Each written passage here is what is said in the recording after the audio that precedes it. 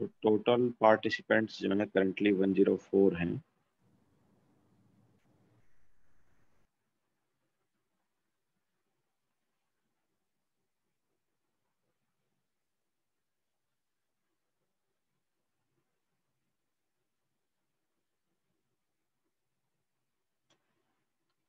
थोड़ा वेट कर लेते देन स्टार्ट करते हैं।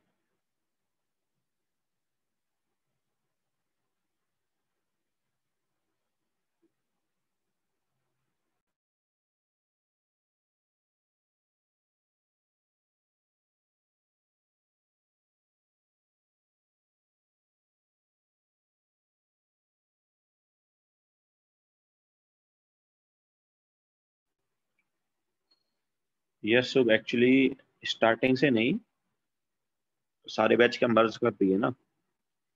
सो so, वही देखते हैं कि लास्ट बैच जो है वो कहाँ से है। सो so, तुम्हारा कितना हो गया है? एमओटी बाकी था बाकी पूरा हो गया? हाइड्रोजन बॉन्डिंग वगैरह सब हो चुका है।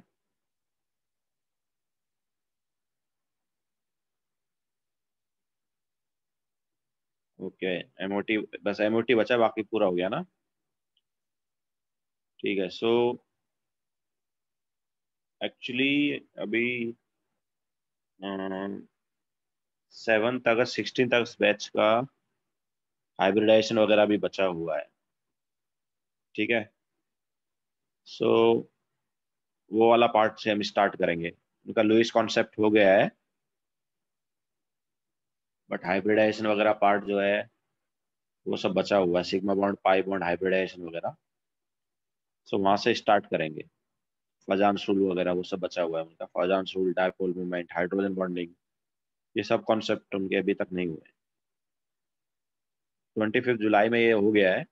ट्वेंटी फिफ्थ जुलाई जो है, वो थोड़ा ही पीछे है बाकी लोगों से। सेवन्थ अगस्त और सिक्सटीन अगस्त में काफ़ी डिफरेंस है।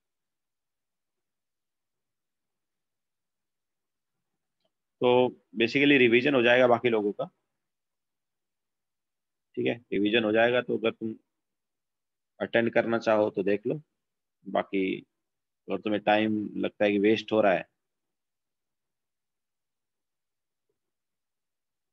तो वो भी देख सकते हो तुम।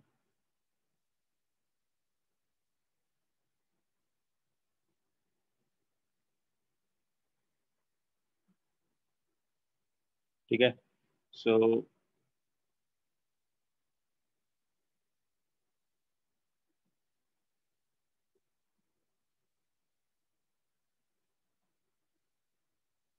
नहीं एमओटी नहीं करेंगे हम। एमओटी करके बाकी बच्चों का कोई वही नहीं होगा ना क्योंकि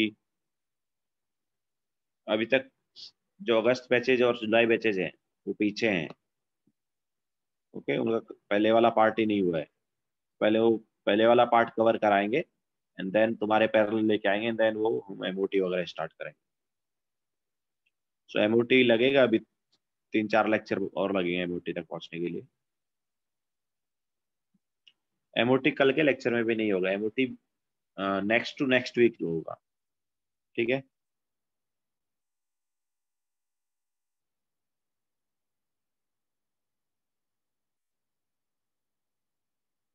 आज के दिन हम फजान रूल वाला पार्ट लेंगे पोलराइजेशन एंड फजान रूल लेंगे।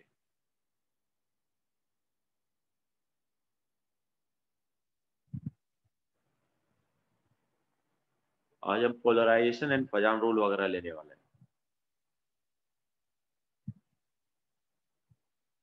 एक्चुअली अंधेरी बैच नहीं, सभी जगह हो चुका है टिल एमओटी है ना? एमओटी से पहले तक का हो गया है बाकी बैचेस में। लेकिन क्या है जो अगस्त वाले बैचेज है उनको भी तो मर्ज कर दिया गया ना। जुलाई अगस्त वाले बैचेज को भी क्या कर दिया गया मर्ज कर दिया गया है। सो so, उनका वो वाला पार्ट नहीं हुआ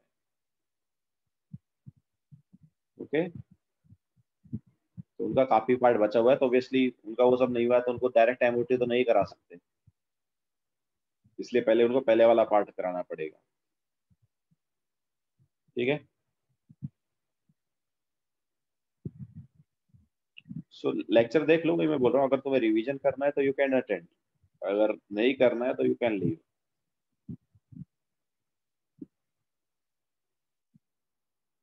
यस बाकी लोगों के लिए रिवीजन हो गया ये. और जिनका नहीं हुआ है, वो तो अटेंड करें जैसा हमने पहले ही बताया कि आज हम फजान रूल वाला पार्ट कवर करेंगे। Fajans rule covalent character in ionic molecule वो वाला पार्ट जो है वो कवर करेंगे।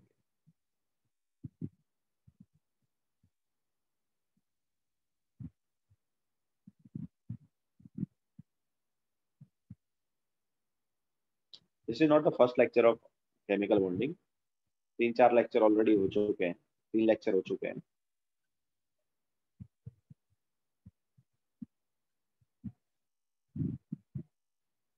डायपोल मोमेंट कवर नहीं होगा आज।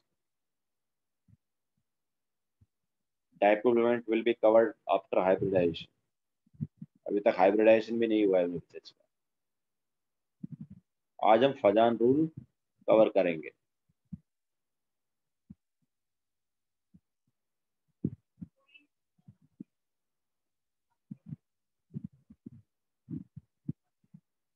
ठीक है?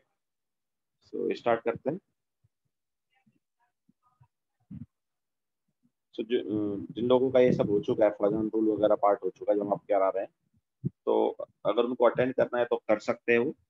ये रिवीजन हो जाएगा उनके लिए। एंड अगर नहीं करना है सो दे कैन लीव वो डिपेंड करता है उन पर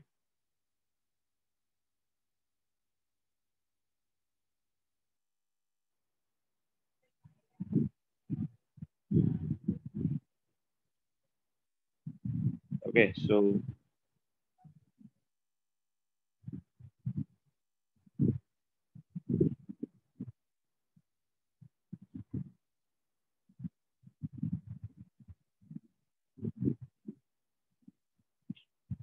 Fajans rule bracket में covalent character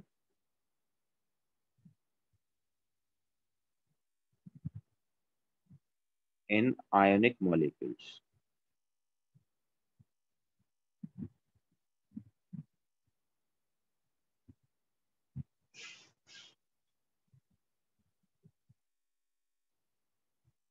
Covalent character in ionic molecules.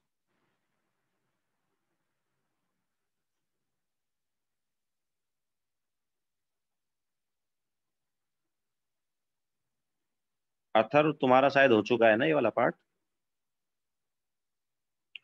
Twenty fifth जुलाई और अगस्त में twenty fifth July and twenty fifth अगस्त वाले बैच में भी ये पार्ट हो चुका है। सिक्सटीन अगस्त एंड सेवंथ अगस्त में ये नहीं हुआ है। सिक्सटीन अगस्त और सेवंथ अगस्त वाले, उनका कंटिन्यूएशन है, बाकी सबका रिवीजन है।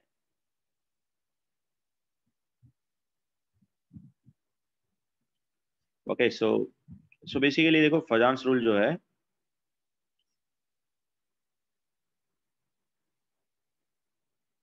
ये आयनिक मॉलिक्यूल या आयनिक कंपाउंड के लिए है। आयनिक कंपाउंड में क्या होता है, जैसे ए भी हमारे पास कोई आयनिक कंपाउंड है। ठीक है? सो इसमें क्या होता है? ए पर पॉजिटिव चार्ज और बी पर क्या है? Negative charge okay ionic compound में ऐसा है। अब देखो क्या होता है इसमें? जैसे मान लो हमारे पास ए जो है, बिल्कुल यशवी मैं वही बोल रहा हूँ कि जिनका हो चुका है, वो देख लें अपने हिसाब से उन्हें क्या करना है। अगर उन्हें रिवाइज करना है तो वो अटेंड कर सकते हैं। अगर उन्हें रिवाइज नहीं करना है तो दे कैन लीव तो A B is ionic compound उसमें ए पॉजिटिव है एंड बी नेगेटिव है। ठीक है?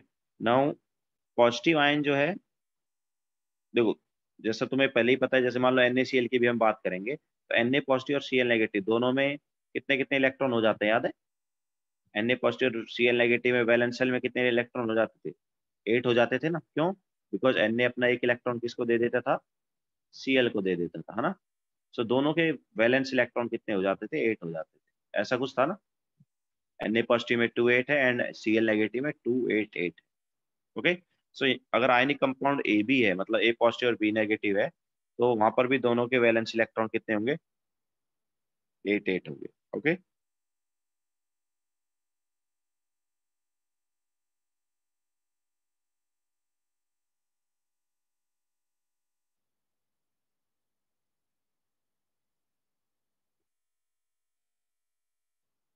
दृष्टि में ये बोल रहा हूँ कि आज का जो लेक्चर है, ये लेक्चर और आगे होने वाले तीन चार लेक्चर जो हैं, वो टिल जुलाई वाले बैचेज जो हैं, उनके लिए रिवीजन है वो।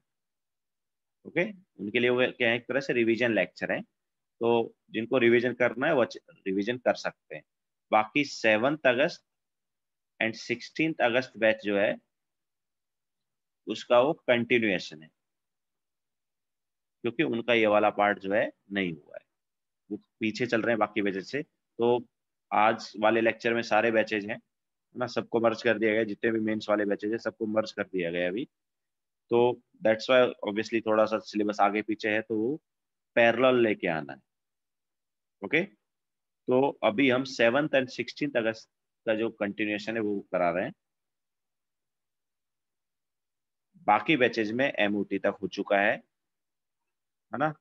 तो एमआरटी तक आने में अभी तीन चार लेक्चर और लगेंगे। सो so, तीन चार लेक्चर एक तरह से रिवीजन है जुलाई बैचेज तक के लिए। ओके टिल जुलाई बैचेज जो है उनके लिए क्या हो जाएँगे? रिवीजन हो जाएँगे। सो so, जिनको रिवीजन करना है वो रिवीजन कर सकते हैं।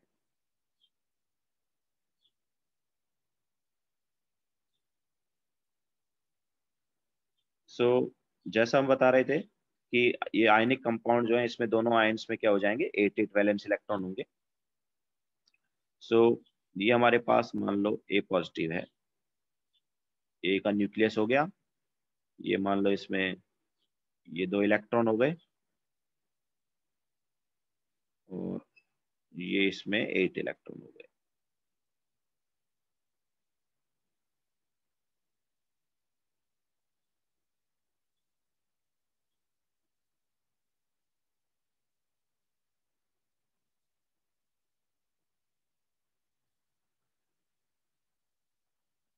ठीक है? ये ए पॉजिटिव हो गया। सिमिलरली हमारे पास क्या है? यहाँ पर बी नेगेटिव भी है। तो ये इसका न्यूक्लियस हो गया। देन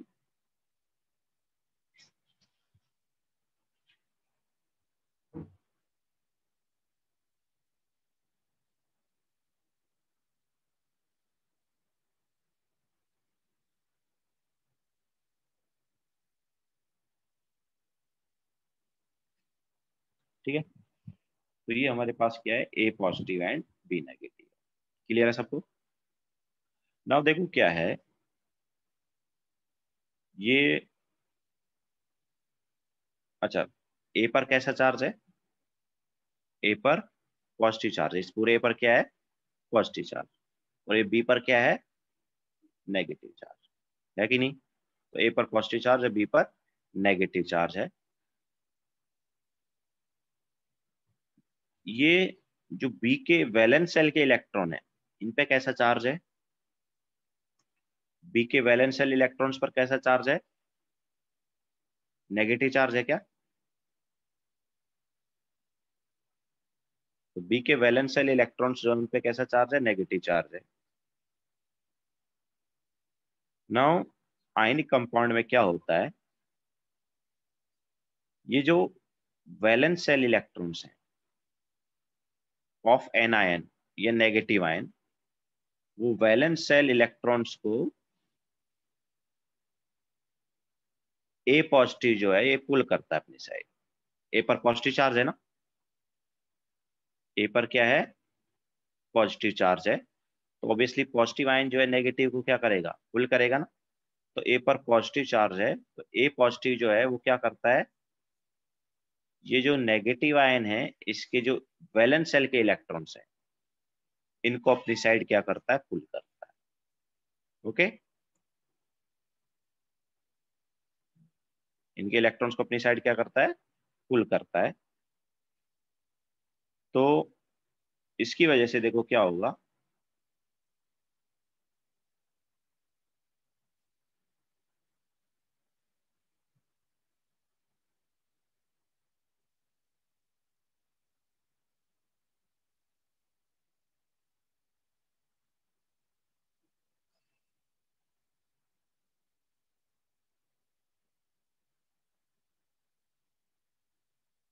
तो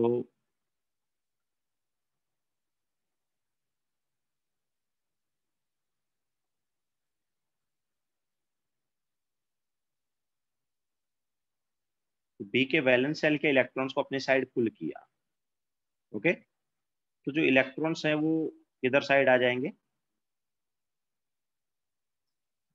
इलेक्ट्रॉन्स जो हैं वैलेंस सेल के एक ही साइड आ जाएँगे।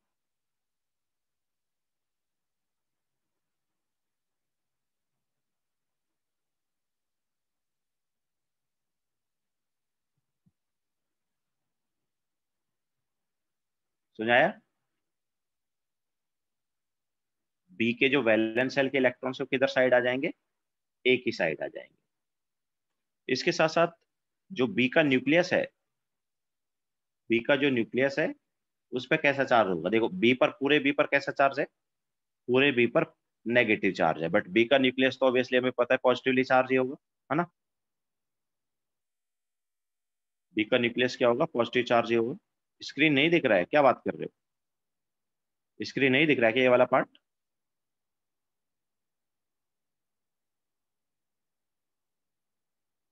दिख रहा है ना? हाँ दिख रहा है। सब लोग बोल रहे दिख रहा है। सो so, तो जैसे हम बता रहे हैं बी पर क्या है? बी पर नेगेटिव चार्ज है बट जो उसका जो न्यूक्लियस है उस पर कैसा चार्ज है? उस पर पॉजिटिव चार्ज ही है ना तो बी का न्यूक्लियस जो है, वो ए पॉजिटिव से क्या होगा? रिपेल होगा। बी का न्यूक्लियस ए पॉजिटिव से रिपेल होगा, लेकिन उसके जो वैलेंस सेल के इलेक्ट्रॉन्स हैं, ये वाले वैलेंस सेल के इलेक्ट्रॉन्स पर कैसा चार्ज है? नेगेटिव चार्ज है ना? वो ए पॉजिटिव से क्या होगा? अट्रैक्ट होगा। तो जो वैलेंस सेल के इलेक्ट्रॉन्स हैं, वो, ये देखो, ये जो बी के, जो वैलेंस सेल के इलेक्ट्रॉन्स हैं, ये किधर साइड आ गए? ये ए की साइड आ गए। ठीक है? ए पॉजिटिव की साइड और उसका जो न्यूक्लियस है, ये वाला, ये थोड़ा दूर हो गया। तो इसकी वजह से हमारे पास जो बी है, उसका शेप जो है थोड़ा सा चेंज हो जाएगा।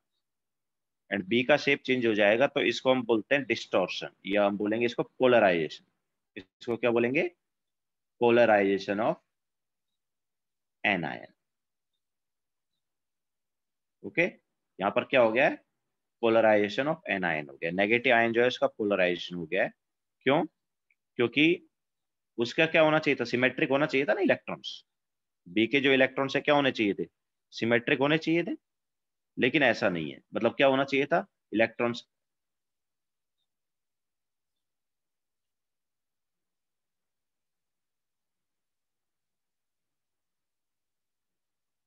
इलेक्ट्रॉन्स जो हैं वो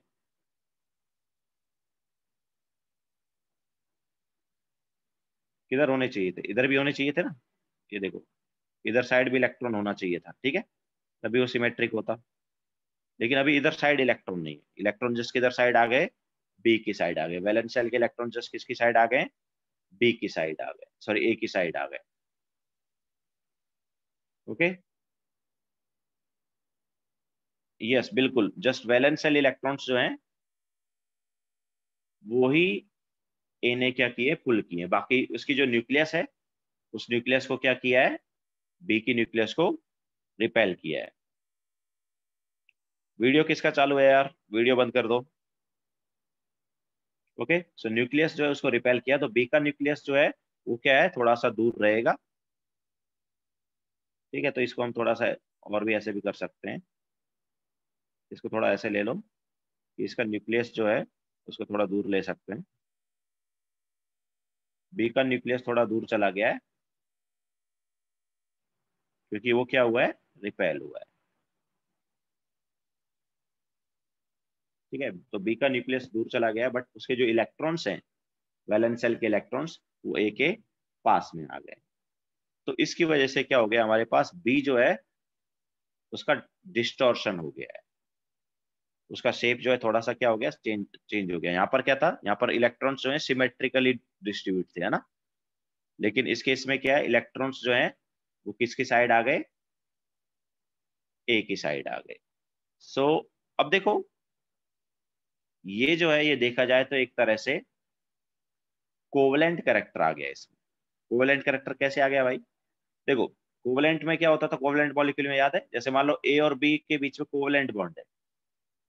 ए और बी के बीच में क्या है? कोवलेंट बॉन्ड तो उस कोवलेंट बॉन्ड में क्या इलेक्ट्रॉन होते हैं ना? एक कोवलेंट बॉन्ड में कितने इलेक्ट्रॉन होते हैं? दो इलेक्ट्रॉन होते हैं।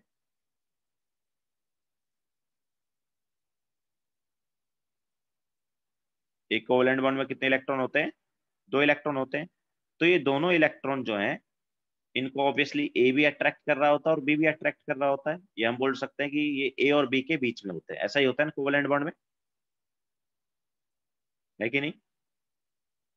कोवलेंट बॉन्ड में जो इलेक्ट्रॉन्स हैं, उनको ए भी शेयर कर रहा होता है और बी भी शेयर कर रहा होता है। हम ऐसा बोल सकते हैं कि वो जो इलेक्ट्रॉन्स हैं, उन इलेक्ट्रॉन्स को एक का न्यूक्लियस भी अट्रैक्ट कर रहा होता है और बी का न्यूक्लियस भी अट्रैक्ट कर रहा होता है। यही होता है कोवलेंट बॉन्ड में?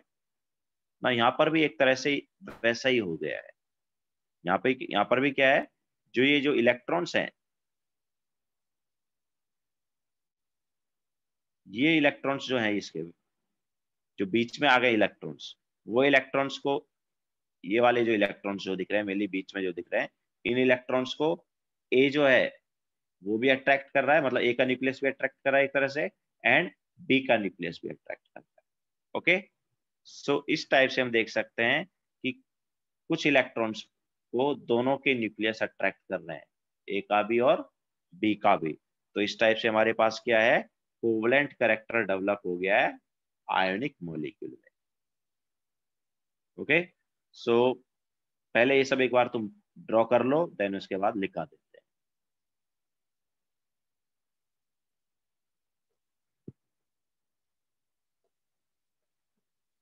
ड्रॉ कर लो देन लिखा देते हैं।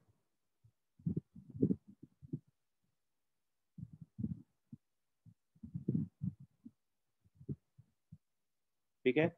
कुछ लोगों को ये भी डाउट होता है कि सर सेम चीज़ तो ए के साथ भी हो सकती है। सेम चीज़ किसके साथ हो सकती है? ए के साथ। जो यहाँ पर बी के साथ हुआ है तो सेम चीज़ ए के साथ हो सकती है, लेकिन ए के साथ नहीं होगी। क्यों? क्योंकि ए पर कैसा चार्ज है भाई? देखो ए पर था पॉजिटिव चार्ज ठीक है? इस पूरे ए पर क्या था? इस पूरे ए पर पॉजिटिव चार्ज था। तो पॉजिटिव चार्ज जो है, वो क्या कर रहा था? ये जो इलेक्ट्रॉन्स है, इन इलेक्ट्रॉन्स पर क्या था? नेगेटिव चार्ज था। वैलेंस के इलेक्ट्रॉन्स उनको अपनी साइड पुल कर रहा था, ठीक है? उनको अपनी साइड उसने क्या कर लिया था? पुल कर लिया था। लेकिन बी पर कैसा चार्ज है भाई?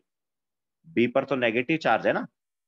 तो बी पर नेगेटिव चार्ज है तो ये ए के इलेक्ट्रॉन्स को थोड़ी पुल कर पाएगा वैलेंशियल इलेक्ट्रॉन को। क्यों? क्योंकि वहाँ पर क्या हो गया?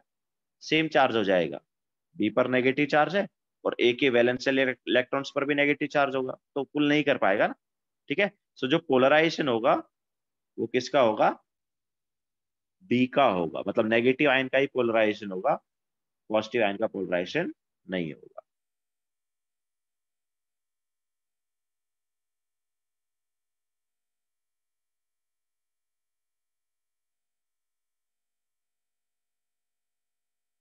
Yes Sub. always anion gets distorted by cation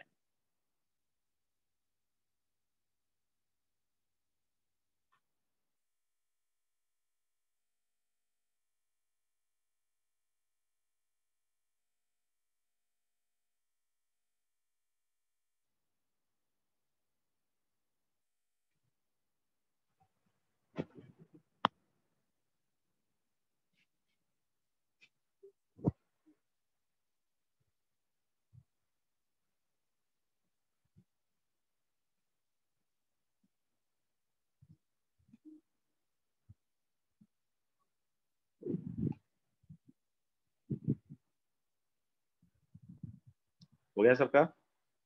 बना लिया क्या?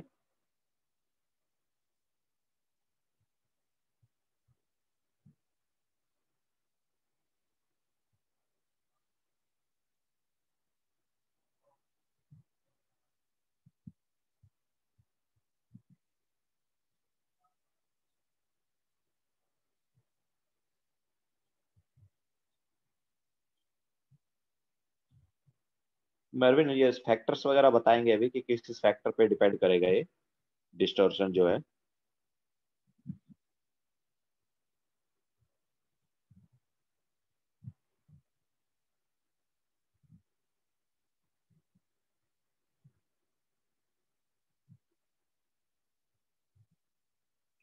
ड्रॉ कर लिया सबने?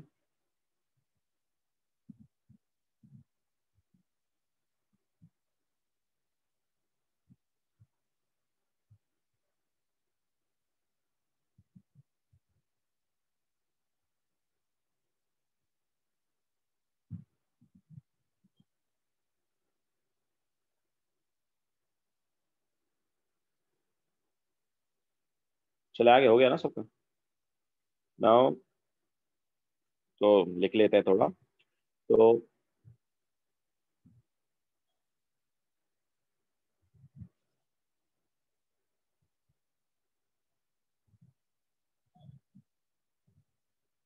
तो in ionic compound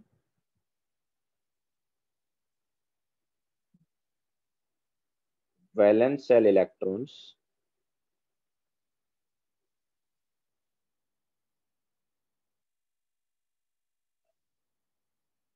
of anion are pulled by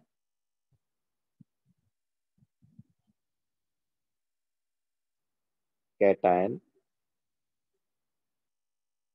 but nucleus of anion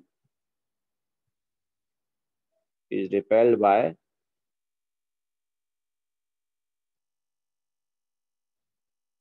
cation. Due to this,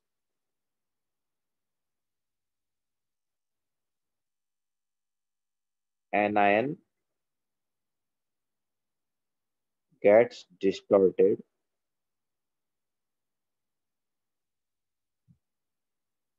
this phenomena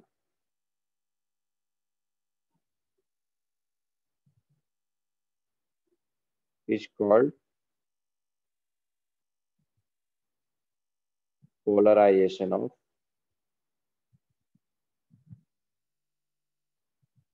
anion. Okay, this phenomena is called polarization of anion.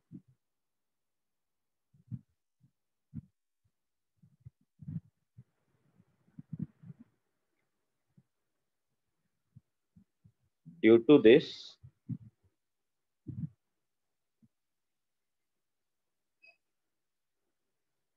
valence shell electrons.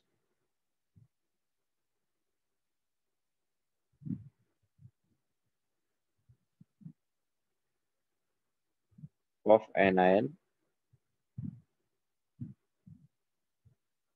will be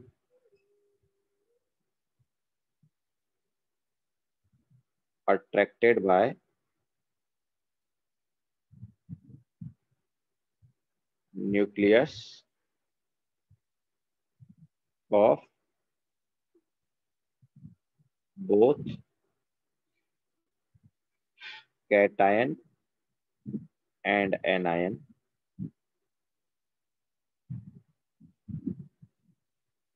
That is covalent character is developed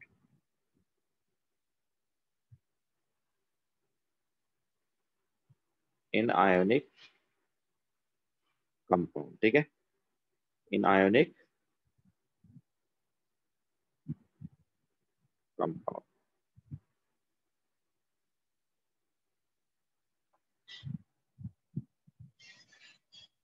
इसको हम बोलते हैं polarisation of anion क्या बोलते हैं? Polarisation of N anion बोलते हैं, ना कि polarisation of ionic compound ionic compound के अंदर हो रहा है polarisation but it is of of yes yes बिल्कुल Riya uh, electrons of A and B के बीच में रिपल्सन ज़रूर होगा वो मैं मना नहीं कर रहा हूँ।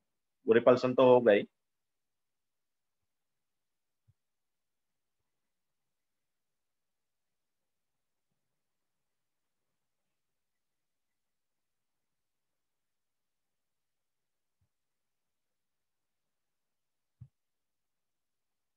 वैसे वो रिपल्सन तो अपने पास वैसे भी होता ही है ना। अपने पास वैलेंस सेल जो होती है वैलेंस सेल में जितने भी जैसे एट इलेक्ट्रॉन्स है तो एट इलेक्ट्रॉन्स भी तो आपस में एक दूसरे को रिपेल करते ही है। ठीक है? तो रिपल्सन इलेक्ट्रॉन्स का तो रहेगा ही हमेशा।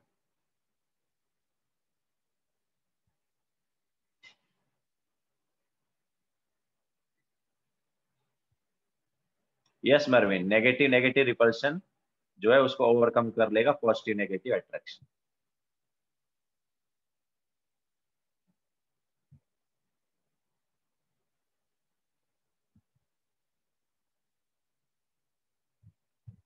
Rahil resonance आज नहीं करेंगे रेजोनेंस बाद में ही करेंगे।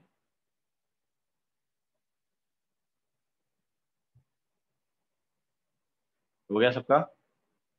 चले आगे क्या?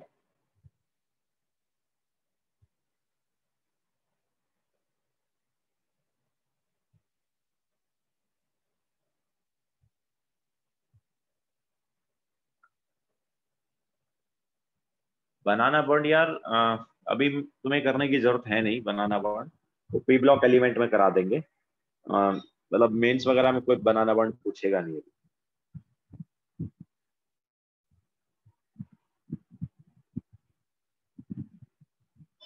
चले आगे, हो गया ना सबको तो देखो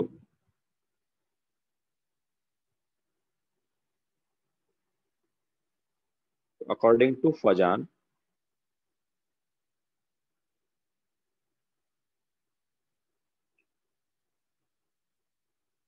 greater the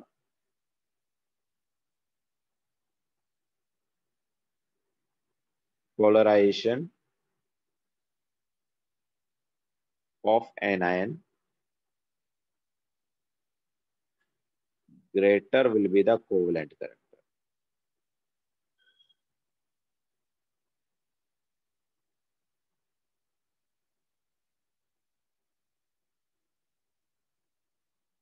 तो जितना ज़्यादा पोलराइजेशन होगा, उतना ज़्यादा हो जाएगा कोवलेंट करेक्टर ठीक है? ये किसने बोला था? ये बोला था फजान।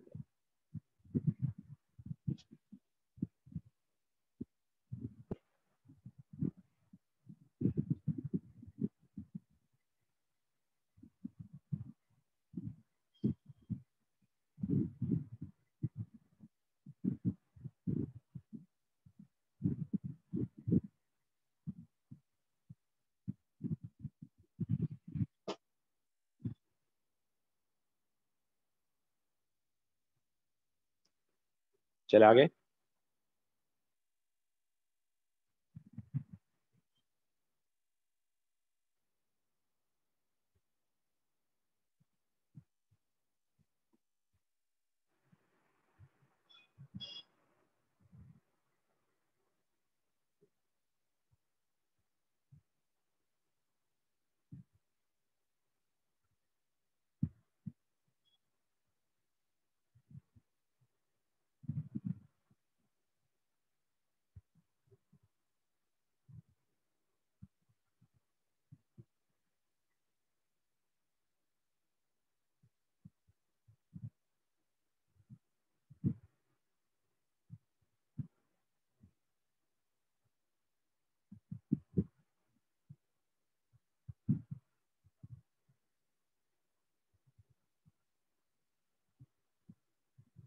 हो गया हो गया ना सबका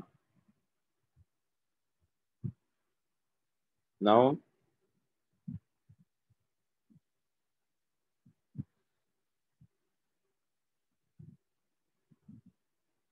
नेक्स्ट हम लेते हैं फैक्टर्स कौन कौन से हैं जो मतलब आयनिक करेक्टर और कोवलेंट करेक्टर को चेंज करेंगे या हम बोल सकते हैं पोलराइजेशन किस फैक्टर पे डिपेंड करेगा? So factors affecting polarization.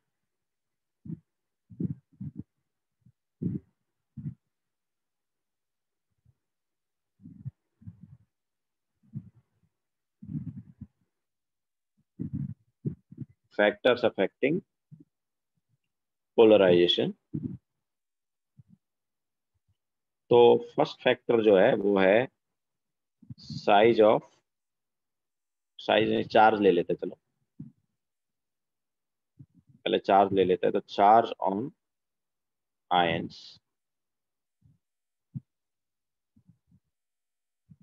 तो देखो, अगर हमारे पास ज़्यादा चार्ज है मतलब एक केस में हम बोल रहे हैं कि यार प्लस वन चार्ज है, और दूसरे, एक कोई केस है जिसमें प्लस टू चार्ज है। तो कि कौन से केस में इलेक्ट्रॉन्स अच्छे से पुल होंगे प्लस वन वाले में या प्लस टू वाले में? जो वैलेंस सेल के इलेक्ट्रॉन्स हैं, वो अच्छे से पुल कौन से केस होंगे? प्लस वन वाले में होंगे, प्लस टू वाले में? प्लस टू वाले में पुल होंगे ना अच्छे से? तो ऑब्वियसली जितना ज़्यादा चार्ज होगा, उतना अच्छे से इलेक्ट्रॉन्स पुल हो जाएँगे। एंड इलेक्ट्रॉन्स अच्छे से पुल होंगे मतलब ज़्यादा पोलराइजेशन हो जाएगा। क्लियर है कि नहीं है? तो जितना ज़्यादा चार्ज होगा, उतना ज़्यादा क्या हो जाएगा? पोलराइजेशन हो जाएगा। क्लियर है सबको? ठीक है so so,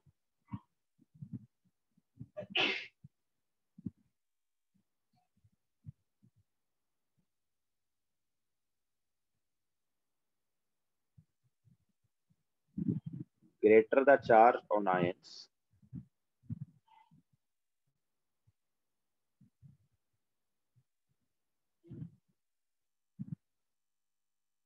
greater will be the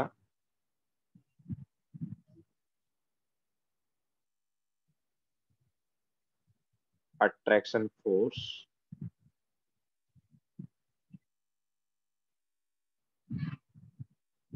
Between valence shell electron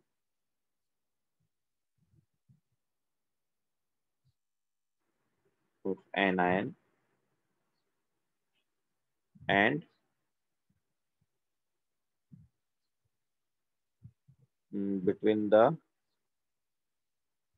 इसको इधर लिख देते हैं बिकॉज़ कंफ्यूज ना हो जाओ। Greater will be the attraction force between cation and valence shell electrons of an ठीक है? Greater will be the attraction force between cation and valence shell electrons of an that is polarization increases ठीक है? तो polarisation बढ़ जाएगा। So basically polarisation जो है, क्या हो गया? It is directly proportional to charge on ions हो गया। जितना ज़्यादा चार्ज होगा, उतना ज़्यादा क्या हो जाएगा? पोलराइजेशन हो जाएगा। जैसे मान लो हम बात करेंगे L I C L and B C L two ठीक है? एल और बी सी एल टू दोनों में अगर हम कंपेयर करते हैं तो किसमें ज़्यादा पोलराइजेशन है भाई बताओ? ज़्यादा चार्ज किसमें ज़्यादा चार्ज है, देखो एल आई सी एल और बी सी एल टू तो एल आई में प्लस वन और बी पर प्लस टू है ना? एल आई पर प्लस वन है और बी पर प्लस टू है तो ज़्यादा चार्ज किस पर है? बी पर बेरिलियम तो प्लस टू चार्ज है तो ऑब्वियसली उसमें ज़्यादा पोलराइजेशन होगा। जितना ज़्यादा चार्ज उतना ज़्यादा पोलराइजेशन तो पोलराइजेशन अगर ज़्यादा है तो कोवलेंट करेक्टर भी क्या होगा? ज़्यादा होगा, जैसे हमने बताया ऑलरेडी है ना? जितना ज़्यादा पोलराइजेशन होता है, उतना ज़्यादा क्या होता है? कोवलेंट करेक्टर होता है। तो एल आई सी एल और बी सी एल टू में अगर हम कंपेयर करेंगे सो एल आई सी एल जो है, उससे ज़्यादा है कोवलेंट करेक्टर किसमें? एल आई सी एल जो है, उससे ज़्यादा है covalent character B C L okay? क्योंकि ज़्यादा पोलराइजेशन मतलब ज़्यादा कोवलेंट करेक्टर यस बिल्कुल। जब भी कंपेयर करवाएँगे तुमसे तो एक सेम रखेंगे, ओके? एक आयन क्या रखा जाता है? सेम रखा जाता है, जब भी कंपेयर कराते हैं। ऐसा नहीं कि दोनों मतलब हमारे मतलब कैटाइन भी डिफरेंट रहेंगे और एनाइन भी डिफरेंट होंगे। ऐसा केस नहीं लिया जाएगा जब ओके? या तो कैटाइन सेम रखते हैं या एनाइन सेम रखते हैं। जब भी एग्ज़ाम में कंपेयर कराते हैं। ओके सो जितना ज़्यादा चार्ज है, उतना ज़्यादा हमारे पास क्या होगा? पोलराइजेशन होगा और ज़्यादा पोलराइजेशन है तो ज़्यादा कोवलेंट करेक्टर आएगा। तो अगर कोई तुमसे पूछता है कि L I C L and B C L two में कौन ज़्यादा कोवलेंट है? Obviously B C L two जो है वो ज़्यादा कोवलेंट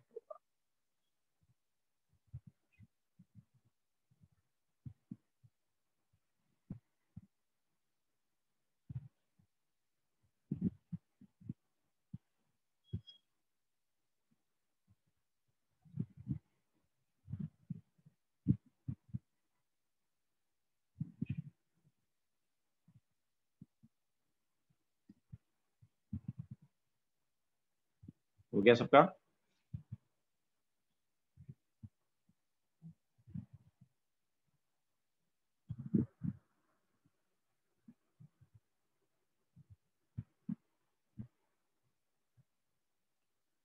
ठीक है तो ये तो फ़र्स्ट था charge on ion first factor now next factor है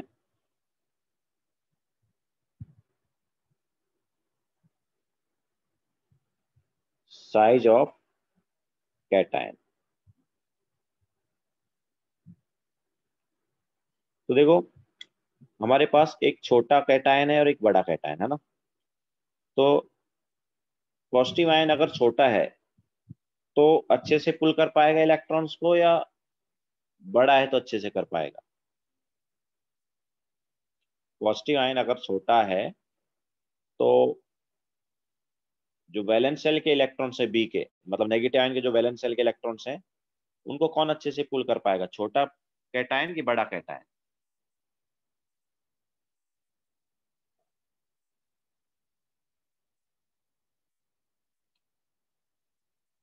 छोटा कैटायन जो है, वो इलेक्ट्रॉन्स को क्या अच्छे से अच्छे से क्या कर पाएगा? पुल कर पाएगा ओके तो याद रखना smaller the size of cation.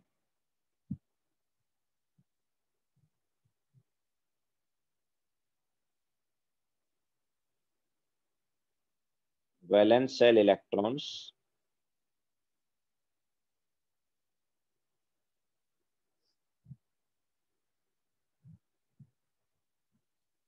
Of anion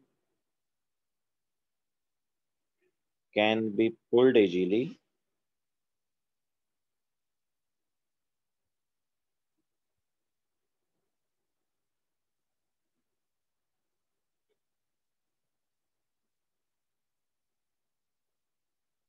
by cation.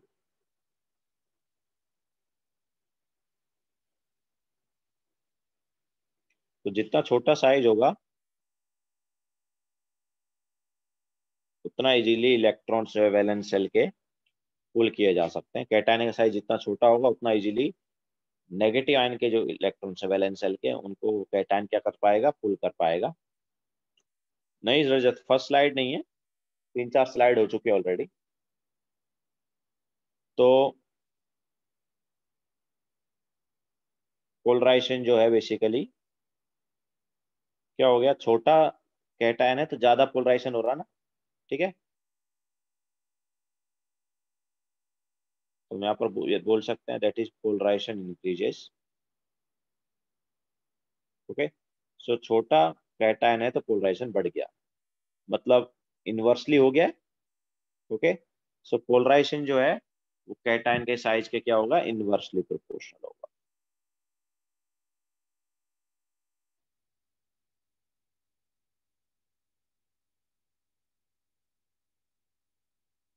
Polarisation जो है, वो जो कैटाइन होता है, उसके साइज़ के क्या होता है? इनवर्सली प्रोपोर्शनल होता है।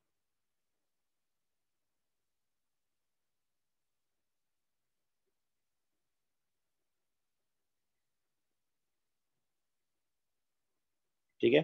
जैसे मान लो हम यहाँ पर एग्ज़ाम्पल लें। L I C L and N A C L का। तो एल आई सी एल और एन ए सी एल में अगर हम देखेंगे तो किसका साइज़ छोटा है? एल आई का कि एन ए का? L I C L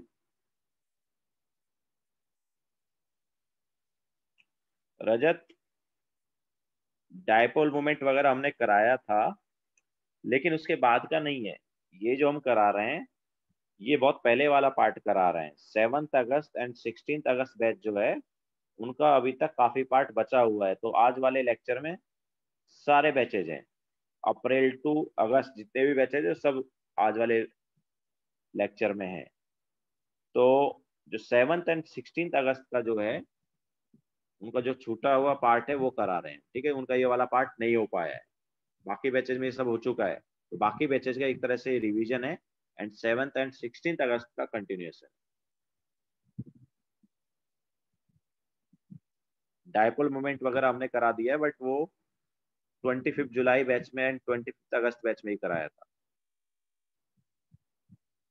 ठीक है सो so, वापस इधर आते हैं। So L I C L और एन ए सी एल में अगर हम देखेंगे तो किसका साइज़ छोटा है? हमें पता है कि एल आई पॉजिटिव जो है उसका साइज़ छोटा होता है किससे? एन ए पॉजिटिव से ऑलरेडी हम पीरियोडिक में देख चुके हैं, है ना? तो छोटा कैटायन कौन सा है? एल आई पॉजिटिव है। तो छोटा कैटायन है तो ज़्यादा पोलराइजेशन होगा उसकी ओके जितना छोटा कैटायन होगा, उतना ज़्यादा पोलराइजेशन तो obviously L I C L के केस में ज़्यादा पोलराइजेशन है compare to N A C L अरे नोट्स बनाए तो नोट डाउन करने की ज़रूरत नहीं है। जस्ट देख लो रिवाइज कर लो। तो एल का ज़्यादा पोलराइजेशन है एन ए सी तो कोवलेंट करेक्टर जब हम देखेंगे तो ऑब्वियसली कोवलेंट करेक्टर भी किसका ज़्यादा होगा? एल आई सी एल जो है उसका ज़्यादा होगा ठीक है? So L I C L और एन ए सी एल में अगर कोई बोलता है कि किसमें कोवलेंट करेक्टर ज़्यादा है तो obviously L I C L में ज़्यादा है। सिमिलरली एक और एग्ज़ाम्पल ले लेते हैं। आ, अगर हमसे पोलराइजेशन कंपेयर कराते हैं वो B C L two and M G C L two का। तो टू और M G C L two में किसका साइज़ छोटा है? बी का या एम जी का?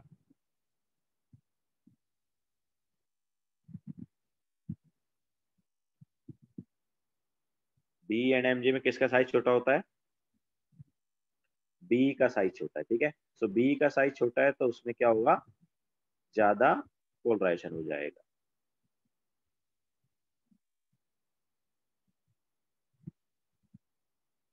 ठीक है? सो कोवलेंट करेक्टर की जब बात करेंगे तो ऑब्वियसली कोवलेंट करेक्टर जो है, वो किसका ज़्यादा आएगा? बी सी एल टू का ज़्यादा आएगा, ठीक है? बी सी एल टू का कोवलेंट करेक्टर जो है, वो ज़्यादा आ जाएगा किससे? M G C L two ठीक है? सो ये हो क्यों रहा है ये? मतलब कैटाइन जो है, छोटा होता है तो ज़्यादा पोलराइजेशन क्यों है बिकॉज़ चार्ज डेंसिटी ज़्यादा हो जाएगी ना। What is charge density of cation मतलब कैटाइन पुल कर रहा है तो किसकी वजह से कर रहा है? जो कैटाइन पर चार्ज है उसकी वजह से। ओके तो छोटा कैटाइन है, देखो चार्ज डेंसिटी क्या है? Charge density charge by size ठीक है? तो अगर कैटाइन छोटा है तो ये वाला पार्ट छोटा है तो ये ओवरऑल वैल्यू क्या हो जाएगी? बढ़ जाएगी। ओके तो जितना छोटा कैटाइन है उतना ज़्यादा उसका क्या हो जाएगा? चार्ज डेंसिटी हो जाएगा मतलब अच्छे से पुल कर पाएगा। चार्ज पर यूनिट एरिया जो है, वो क्या होगा? बढ़ जाएगा।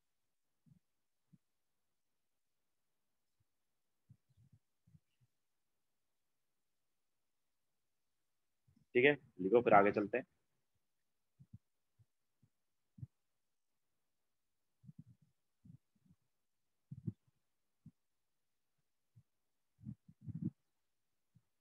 नहीं, सीरियस चार्ज दोनों का सेम ही है ना एन ए और एल आई दोनों पर प्लस वन चार्ज ही होता है ना?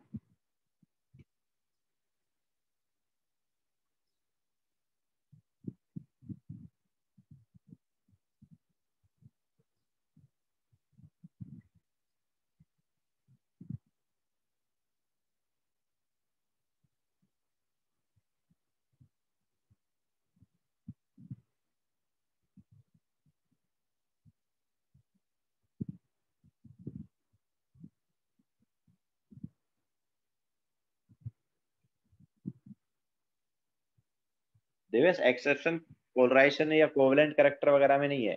एक्सेप्शन आता है सॉलिबिलिटी वगैरह में। मतलब वहाँ पर जब हम देखते हैं तो सॉलिबिलिटी दो तीन फैक्टर पे डिपेंड करता है ना? तो वहाँ पर एक्सेप्शन आएँगे, यहाँ पर एक्सेप्शन नहीं है। कोवलेंट करेक्टर और पोलराइजेशन में एक्सेप्शन नहीं है।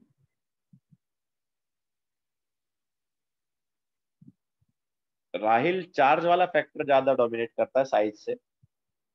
बट ऐसा नहीं होगा। जनरली मतलब अपोज मतलब अपोज करने वाले आएँगे ही नहीं। चार्ज और साइज़ वाला फैक्टर जो है, एक साथ नहीं आएगा। ऐसा नहीं होगा कि दोनों अपोज कर रहे हैं। ऐसा क्वेश्चन जनरली नहीं देखते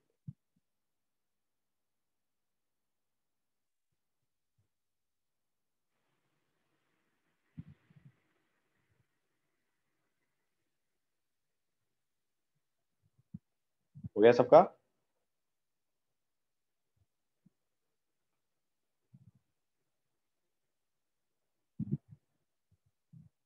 ठीक है? तो ये हमने देखा साइज़ ऑफ़ कैटायन अब बात करते हैं साइज़ ऑफ़ एनायन की।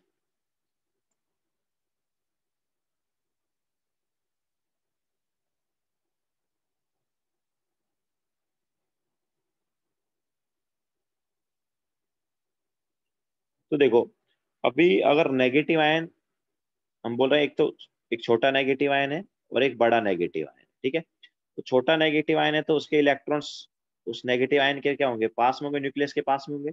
और बड़ा नेगेटिव आयन है तो उसके जो इलेक्ट्रॉन्स हैं, ठीक है, जितने भी इलेक्ट्रॉन्स हैं वैलेंस सेल के इलेक्ट्रॉन जितने भी हैं, वो सभी न्यूक्लियस के पास होंगे अगर छोटा है कैटायन सॉरी फिर से मैं एक बार रिपीट करता हूँ कंफ्यूजन ना अगर नेगेटिव आयन छोटा है तो जो वैलेंस सेल इलेक्ट्रॉन्स है, वो न्यूक्लियस के पास में होंगे, है ना? और अगर नेगेटिव आयन बड़ा है तो उसके जो वैलेंस सेल इलेक्ट्रॉन्स है, उसकी न्यूक्लियस से क्या होंगे? दूर होंगे। ओके? तो ऑब्वियसली बड़ा नेगेटिव आयन है तो इलेक्ट्रॉन्स जो हैं, उसकी न्यूक्लियस से क्या होंगे? दूर होंगे। मतलब उसकी न्यूक्लियस का उन पर पकड़ कम होगा। होगा कि नहीं होगा? न्यूक्लियस उतने अच्छे से उनको क्या नहीं कर रहा होगा? पुल नहीं कर रहा होगा, खुद का न्यूक्लियस। तो खुद के न्यूक्लियस का पकड़ अगर कम है तो दूसरे का दूसरा जो अपने पास है, अपने पास ए पॉजिटिव जो है वो तो उनको अपने साइड इजीली क्या कर पाएगा? पुल कर पाएगा ना? लेकिन इस केस में अगर हम देखते तो इस केस में पकड़ ज़्यादा था अच्छा था ना इस केस में पकड़। छोटा नेगेटिव छोटा नेगेटिव आयन अगर है तो न्यूक्लियस जो है, खुद का न्यूक्लियस उन्हें अच्छे से क्या कर रहा है? पुल कर रहा है अपनी साइड तो फिर ए पॉजिटिव उतने अच्छे से उन्हें अपनी साइड पुल नहीं कर पाएगा। ओके सो नेगेटिव आयन जो है नेगेटिव आयन जो है, अगर बड़ा होता है तो खुद की न्यूक्लियस जो है नेगेटिव आयन की, वो उन वैलेंस सेल इलेक्ट्रॉन्स को कम अट्रैक्ट कर रही होती है। तो वैलेंस सेल इलेक्ट्रॉन्स जो हैं, वो अगर लेसली बाउंड होते हैं या कम अट्रैक्ट होते हैं खुद की न्यूक्लियस से तो उनको कैटाइन इजीली क्या कर लेगा? पुल कर लेगा। और कैटाइन अगर इजीली पुल कर लेगा तो क्या हो जाएगा? पोलराइजेशन हो जाएगा okay so smaller the size of anion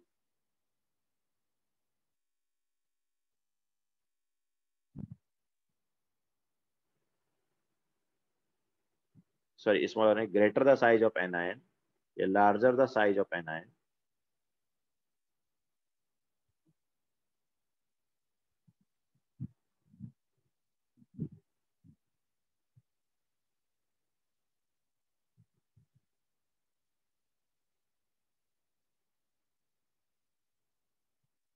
electrons of valence shell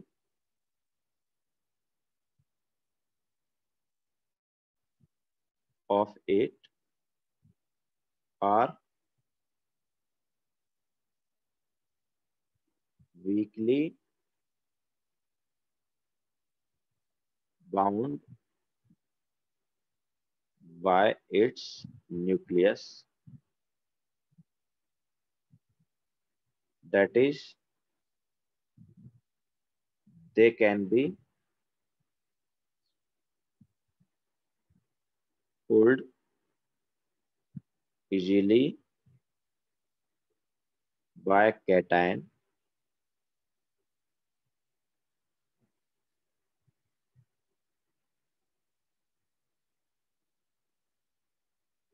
ठीक है और पोलराइजेशन क्या हो जाएगा बढ़ जाएगा तो नेगेटिव आयन अगर बड़ा हुआ ठीक है नेगेटिव आयन का साइज़ अगर बड़ा है तो पोलराइजेशन ज़्यादा होगा। तो हम यहाँ पर बोल सकते हैं कि पोलराइजेशन जो है वो डायरेक्टली प्रोपोर्शनल हो गया किसके? साइज़ ऑफ़ एन आयन के।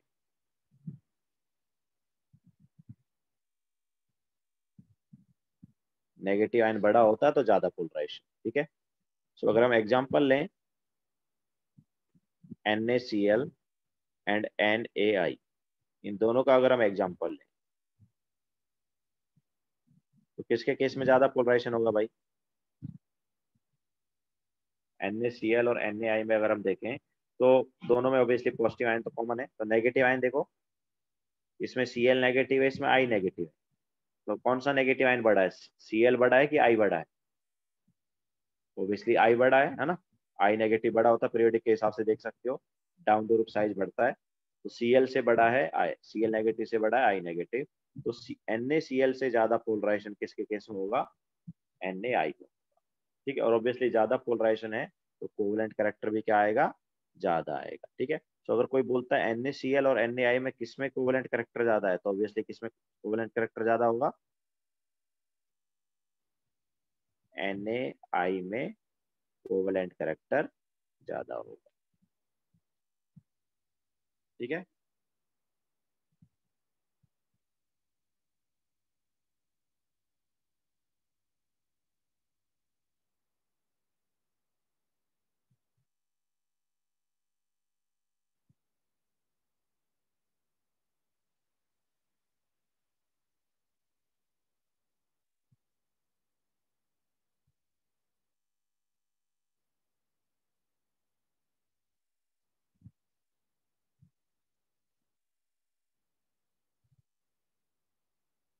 लिख लिया सबने?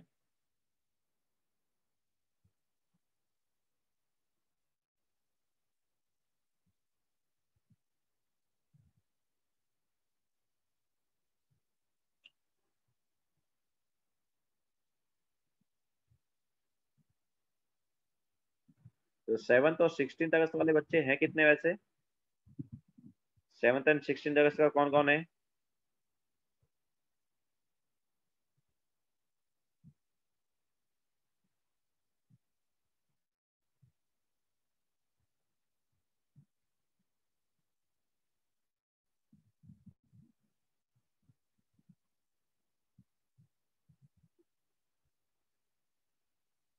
काफ़ी हैं। ठीक है। So so,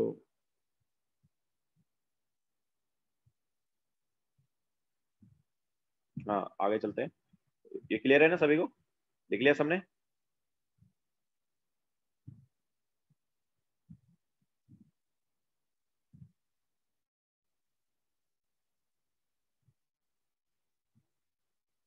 Next factor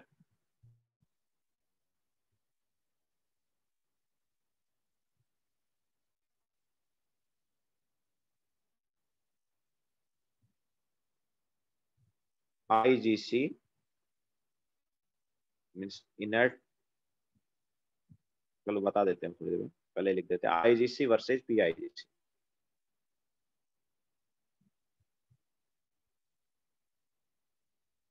IGC versus PIGC तो आईजीसी एंड पीआईजीसी क्या है, देखो IGC is inert gas configuration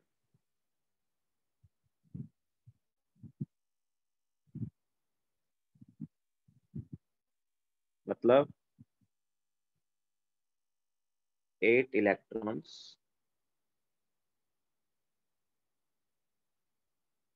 in valence shell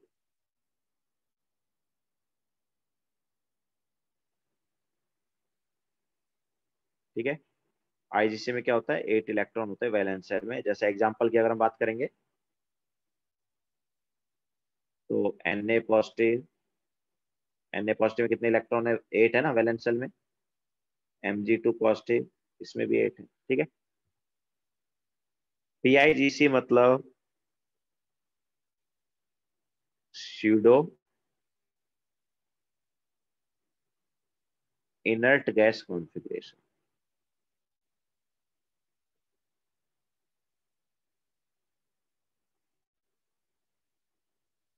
ठीक है? सो पीआईजीसी होता है 18 इलेक्ट्रॉन इन वैलेंस सेल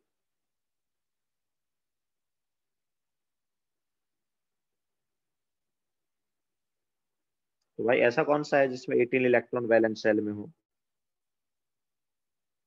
तो इसके एग्जांपल की अगर हम बात करेंगे। तो देखो C U positive Z N two positive AG positive ये सब में 18 इलेक्ट्रॉन्स होते हैं वैलेंस सेल इन सब में कौन से होते हैं? कितने इलेक्ट्रॉन होते हैं? 18 इलेक्ट्रॉन होते हैं वैलेंस सेल कैसे देखो? जैसे मान लो हम कॉपर की बात करते हैं।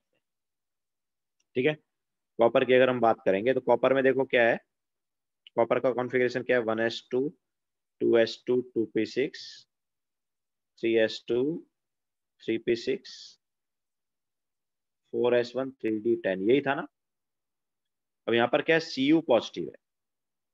यहाँ पर क्या है? सी यू नहीं है सी यू पॉजिटिव ओके तो सी यू पॉजिटिव में कितने इलेक्ट्रॉन है? एक इलेक्ट्रॉन निकल गया। तो क्या आएगा? One S two two S two two P six, three S two. अच्छा वो इलेक्ट्रॉन कहाँ से निकलेगा? वो इलेक्ट्रॉन निकलेगा फोर एस। हाँ? इलेक्ट्रॉन कहाँ से निकलता है? जिसका एन ज़्यादा है वहाँ से निकलता तो एन किसका ज़्यादा? फोर का। सो so, ये एक इलेक्ट्रॉन निकल जाएगा तो क्या है? Three S two three P six and three D ten तो देखो वैलेंसल इलेक्ट्रॉन कितने हो गए भाई? थर्ड ऑर्बिट क्या हो गया? वैलेंसल हो गया ना? तो कितने इलेक्ट्रॉन है इसमें? एटीन इलेक्ट्रॉन क्लियर है क्या? ओके सो so, ये जो डी ब्लॉक के हमारे पास ये जो एलिमेंट होते हैं लास्ट वाले ग्रुप्स के जो एलिमेंट होते हैं इनके कैटाइन जो वो पीआईजीसी बनाते हैं मतलब pseudo inert gas configuration okay मतलब स्टेबल कॉन्फ़िगरेशन बेसिकली जैसे इनर्ट गैस कॉन्फ़िगरेशन एक तरह से क्या स्टेबल कॉन्फ़िगरेशन हो गया था। Okay okay? उसमें एट इलेक्ट्रॉन हो जाते थे तो यहाँ पर क्या है? यहाँ पर मतलब वहाँ पर क्या होता था? एस और पी में इलेक्ट्रॉन्स हो जाते हैं पूरे फ़ील्ड और यहाँ पर क्या है? एस पी और डी में तीनों में फुली फ़ील्ड कॉन्फ़िगरेशन रहेगा ठीक है? इनर्ट गैस में जस्ट एस और पी का मतलब यहाँ पर अगर तुम देखोगे N A positive M G two positive में तो यहाँ पर एस में दो इलेक्ट्रॉन और पी में सिक्स इलेक्ट्रॉन ऐसा रहता है इनका कॉन्फ़िगरेशन और यहाँ पर क्या है? एस और पी के साथ साथ डी में भी इलेक्ट्रॉन रहते हैं। ओके तो क्या होता है?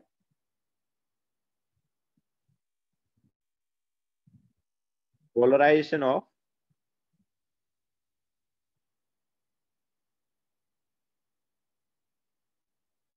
PIGC is greater than IGC ठीक है? PIGC वाला ज़्यादा पोलराइज करेगा किससे? IGC वाले से। ठीक है? तो अगर हम यहाँ पर कंपेयर करें AgCl एंड NaCl दोनों में अगर हम कंपेयर करें पोलराइजेशन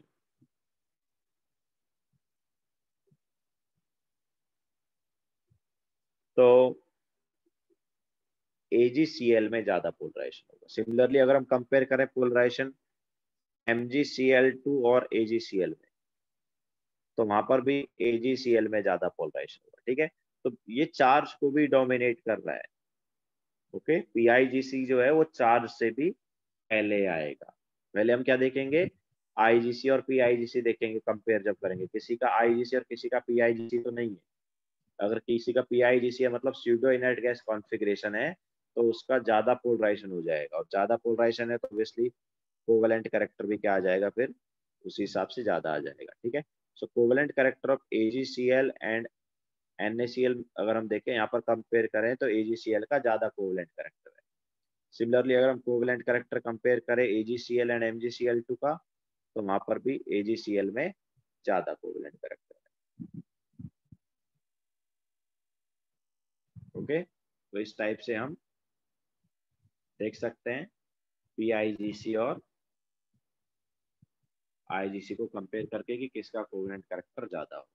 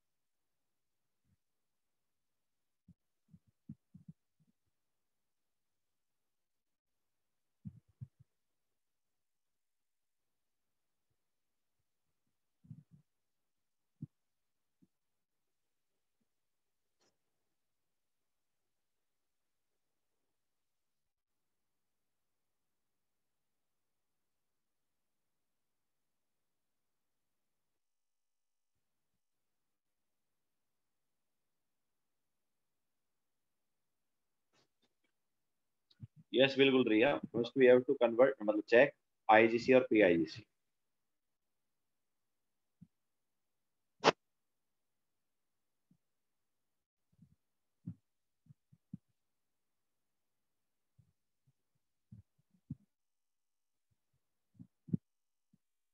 देखो क्या है एजीसीएल जो है और एनएसीएल दोनों में कॉमन आयन कौन है? सीएल ठीक है? सो हम किसको देखेंगे? एजी और एनए को देखेंगे। ठीक है? तो एजी और एनए में जब हम देखेंगे तो एजी और एनए में एजी का पीआईजीसी और एनए का आईजीसी है। हमने क्या बोला कि पीआईजीसी का पोलराइजेशन आईजीसी से ज़्यादा है, ठीक है? तो ऑब्वियसली एजीसीएल का ज़्यादा पोलराइजेशन होगा एनएसीएल से। और ज़्यादा पोलराइजेशन होगा तो ऑब्वियसली ज़्यादा कोवलेंट कैरेक्टर भी आएगा। Similarly M G two positive का आईजीसी है और ए जी पॉजिटिव का पीआईजीसी ठीक है? दैट्स वाई एजीसीएल का ज़्यादा पोलराइजेशन होगा एमजीसीएल से। एंड कोवलेंट कैरेक्टर भी आएगा अगर दोनों पीआईजीसी हुए जनरली ऐसा नहीं होगा। अगर दोनों पीआईजीसी हुए ऑब्वियसली चार्ज और साइज़ वाला फैक्टर लगेगा। Okay okay? अगर दोनों उन्होंने पीआईजीसी दे दिए तो चार्ज एंड साइज़ वाला फैक्टर लगा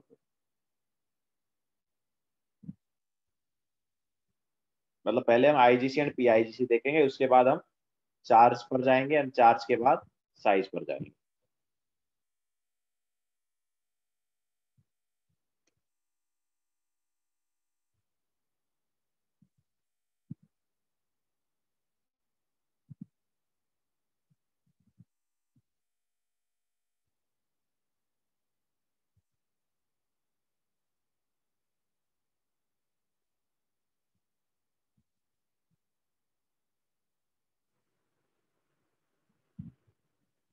पीआईजीसी जैसे हमने बताया, जो डी ब्लॉक के एलिमेंट्स हैं, उनके कैटायन जो है पीआईजीसी होते हैं। मतलब सिंपली मैंने डेफिनेशन लिखा है ना 18 इलेक्ट्रॉन इन वैलेंस सेल तो किसके केस में 18 इलेक्ट्रॉन हो जाएँगे वैलेंस सेल तो डी ब्लॉक के अपने पास हैं, उन्हीं केस में हो पाएँगे।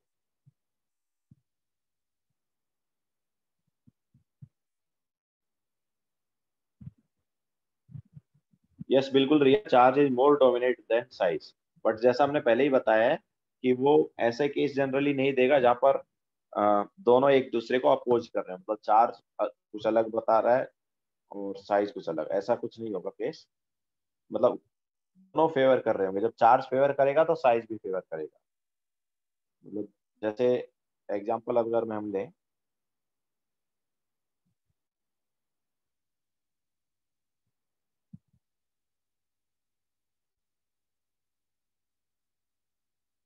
ठीक है, जैसे मान लो हम बात करें एल आई सी एल और बी ई सी एल यहाँ पर हमने चार्ज के हिसाब से देख लिया था ना? हमने बोल दिया था कि चार्ज के हिसाब से बी सी एल टू का ज़्यादा पोलराइजेशन होगा। लेकिन ऐसे भी तो देखो ना यार कि एल आई पॉजिटिव और बी टू पॉजिटिव का जब हम साइज़ देखेंगे तो साइज़ भी तो किसका ज़्यादा है? साइज़ भी तो एल आई पॉजिटिव का ज़्यादा है ना? ओके तो कौन से कैटायन का साइज़ छोटा है? बी टू पॉजिटिव का तो बी टू पॉजिटिव का चार्ज ज़्यादा साइज़ छोटा है। है कि नहीं? तो दोनों ही फेवर कर रही है ना पोलराइजेशन को। चार्ज की वैल्यू ज़्यादा आ रही है तो वो फेवर कर रही है, और कैटाइन का साइज़ छोटा है तो वो भी फेवर कर रहा है। ओके तो दोनों ही फेवर कर लेगा। अपोज करने वाला केस जनरली नहीं आएगा। ओके तो जितना हमने यहाँ पर तुम्हें बताया तो उससे तुम एक चीज़ देख सकते हो कि पोलराइजेशन जो है वो ज़्यादा कब होगा? जब एस जो है सॉरी जब जब हमारे पास कॉन्फ़िगरेशन जो है वो पीआईजीसी वाला एक तब हो सकता है। इसके अलावा पोलराइजेशन ज़्यादा कब होगा? जब हमारे पास चार्ज ज़्यादा है, ठीक है? तो ज़्यादा चार्ज होने पर भी पोलराइजेशन ज़्यादा है मतलब कोवलेंट करेक्टर ज़्यादा है। इसके अलावा जब हमारे पास ज़्यादा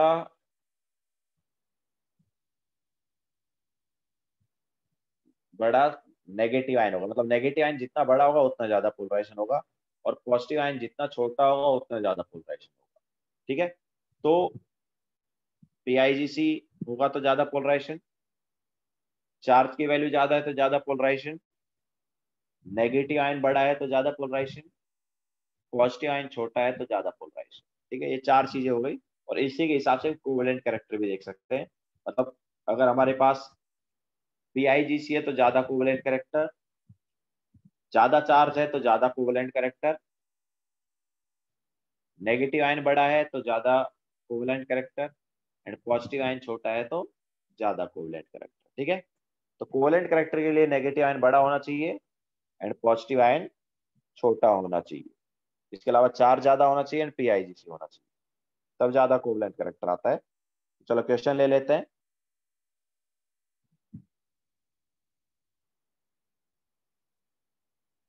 Yes Dhruv polarization obviously blocks के हिसाब से वेरी तो करेगा ही ना बिकॉज़ साइज़ और चार्ज वगैरह चेंज हो जाएगा आयंस का।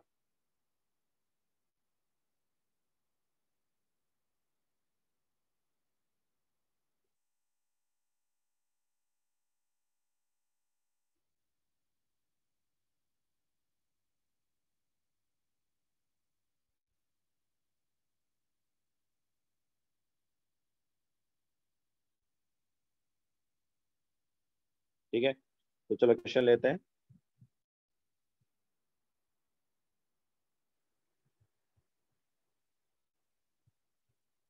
तो कंपेयर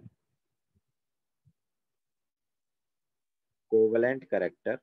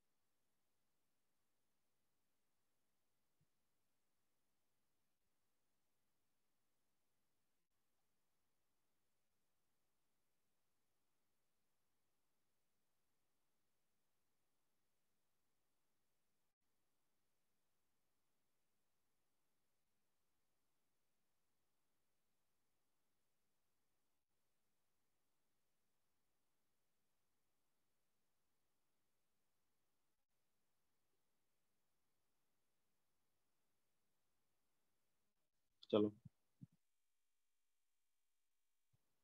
कंपेयर करो कोवलेंट करेक्टर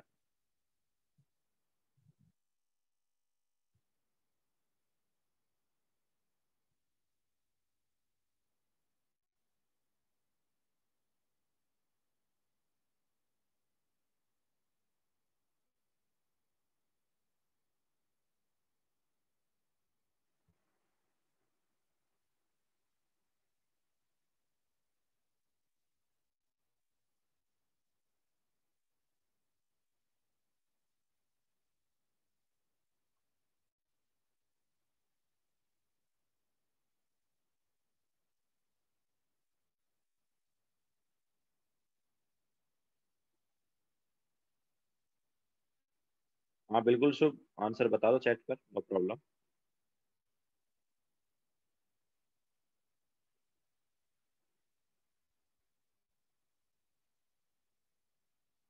फ़र्स्ट वाला तुम्हारा करेक्ट था।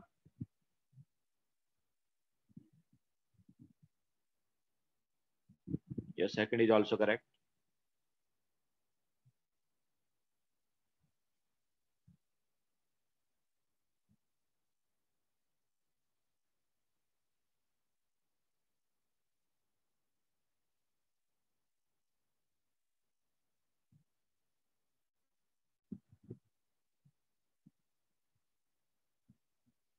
okay correct है समय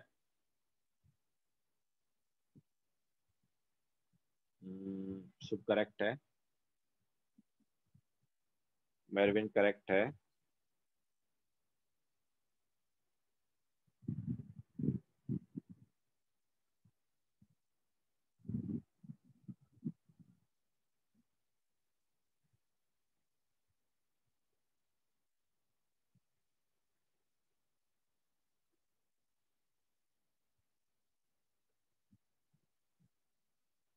रजत करेक्ट है।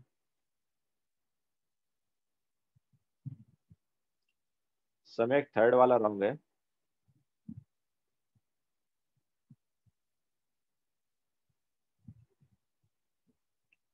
M G plus two minus two क्या बोल रहे हो? M G C L two है वो। MgCl2 and MgI2 correct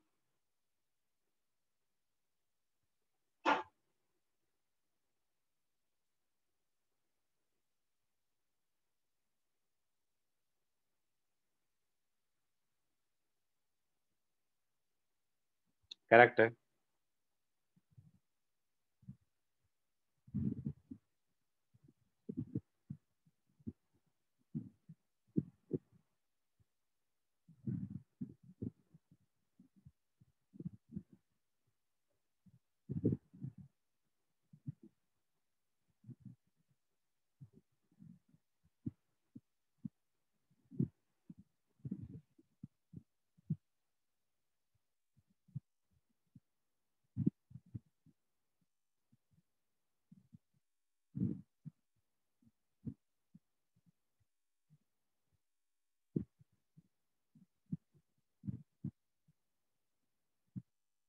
yes Rajdeep correct है।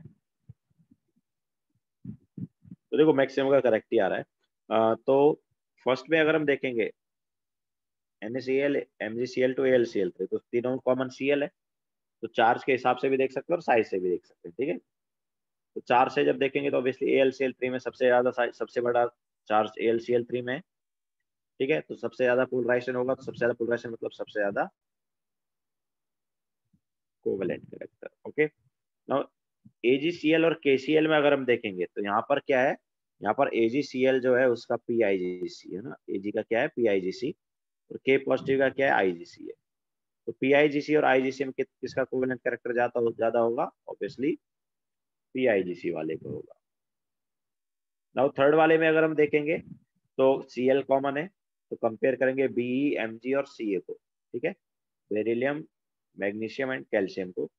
तो वहाँ पर जब हम कंपेयर करेंगे तो सबसे छोटा साइज़ होता है बी का। कैटाइन सबसे छोटा कौन सा है? बी है। दैट्स वाई इसमें सबसे ज़्यादा पोलराइजेशन होगा मतलब सबसे ज़्यादा कोल है।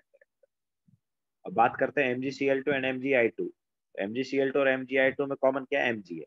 ठीक है? तो अभी हमें क्या देखना चाहिए? Cl और I को देखना चाहिए। तो Cl और I में जब कंपेयर करेंगे तो I नेगेटिव बड़ा आयन है। I नेगेटिव जो है, Cl नेगेटिव से क्या बड़ा है? नेगेटिव आयन जैसे हमने बताया, बड़ा होता है तो ज़्यादा पोलराइजेशन ज़्यादा पोलराइजेशन है मतलब ज़्यादा कोवेलेंट करेक्टर है। क्लियर है सबको?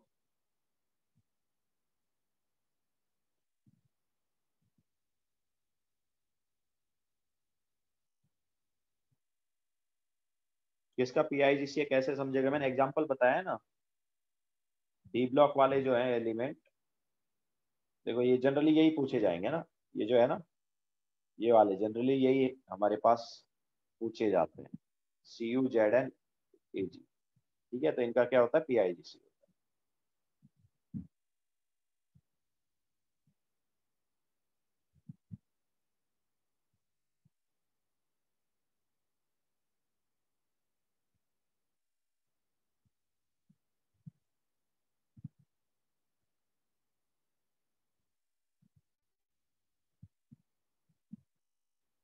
गया सबका? आगे चले।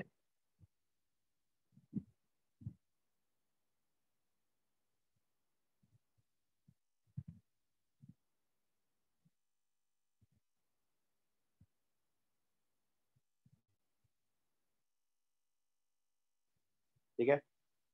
तो नेक्स्ट हम लेते हैं एप्लीकेशन तो नेक्स्ट हेडिंग डालो application of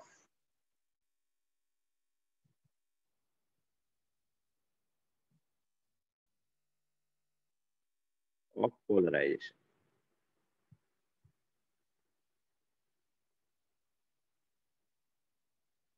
Application of polarization तो इसमें सबसे फ़र्स्ट हम लेंगे सॉलिबिलिटी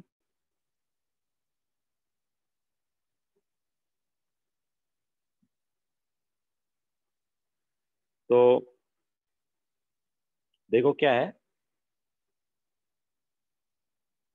जनरली ऐसा होता है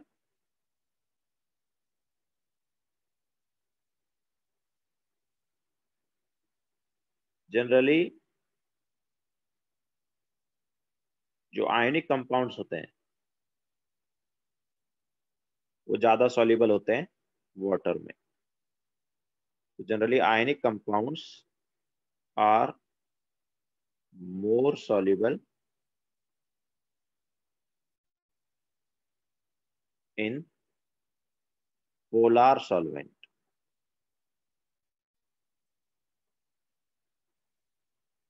Example water water जो है पोलार सॉल्वेंट है।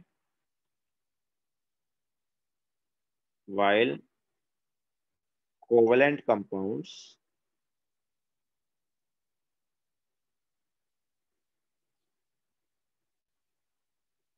are more soluble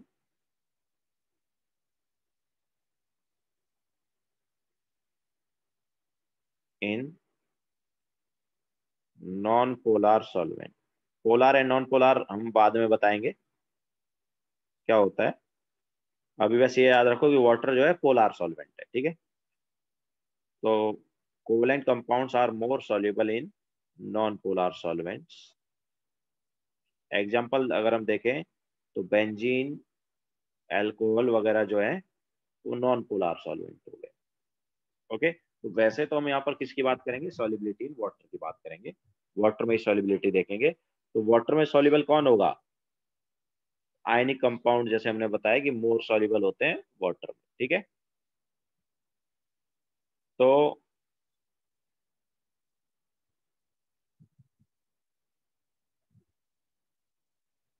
आर्या वही है ना ये पोलार पोलार की बात कर रहे हैं ना हम पोलार ज़्यादा पोलार मतलब ज़्यादा आयनिक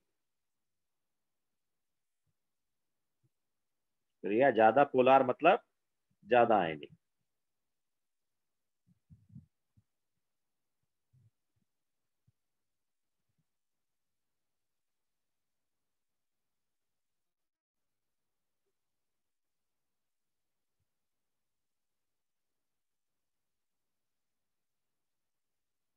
देखो यहाँ पर यस एक्चुअली वही है। हमारे पास अगर कोवलेंट करेक्टर ज़्यादा है कोवलेंट करेक्टर अगर ज़्यादा है तो सॉलिबिलिटी क्या होगा? कम होगा वाटर में, या पोलार सॉलिवेंट में सॉलिबिलिटी कम होगा, ऐसा। ज़्यादा कोवलेंट करेक्टर होने की वजह से सॉलिबिलिटी क्या हो जाएगा? कम हो जाएगा। तो उसी का एग्ज़ाम्पल लेते हैं, देखो अभी हम। तो अगर हम यहाँ पर बात करें A G X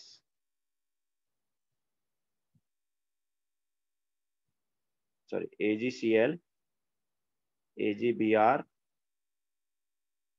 A G F A G C L A G B R A G I ठीक है? इन सब में अगर हम कंपेयर करें तो पोलराइजेशन का ऑर्डर क्या होगा? What is order of polarization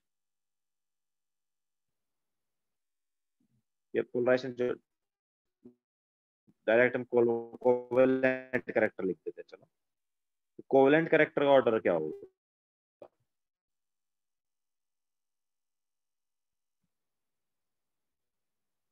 सबसे ज़्यादा कोवेलेंट करेक्टर किसका है बताओ?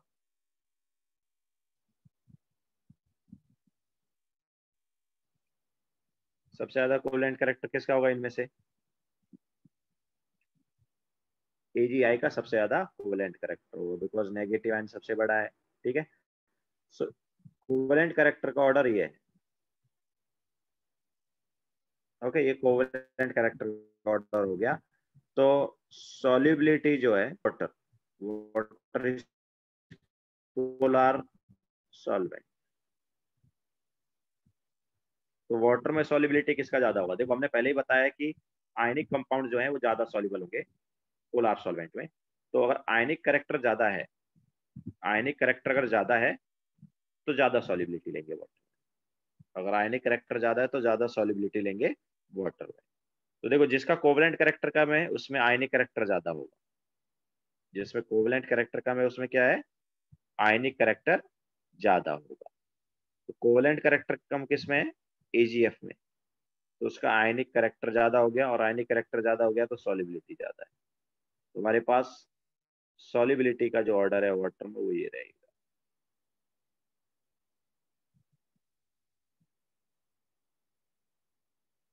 ठीक है? तो यहाँ पर अगर हम वाटर में सॉलिबिलिटी कंपेयर करेंगे तो AgF जो है, इन चारों में मोस्ट सॉल्युबल होगा एंड AgI जो है लिस्ट सॉल्युबल होगा। जिसका कोवलेंट करेक्टर सबसे ज़्यादा, उसका सॉल्युबिलिटी सबसे कम है।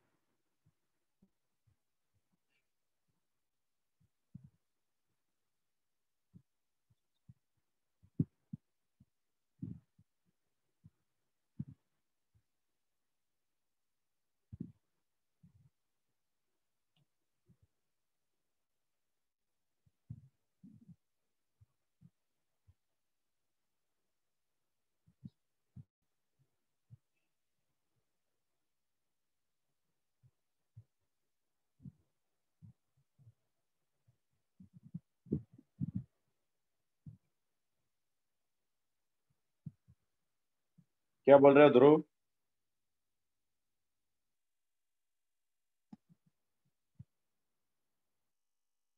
ठीक है, इसी टाइप से एक दो एग्जांपल और ले लेते हैं।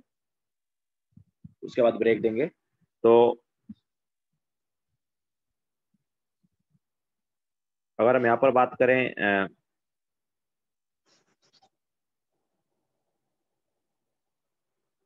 P B F two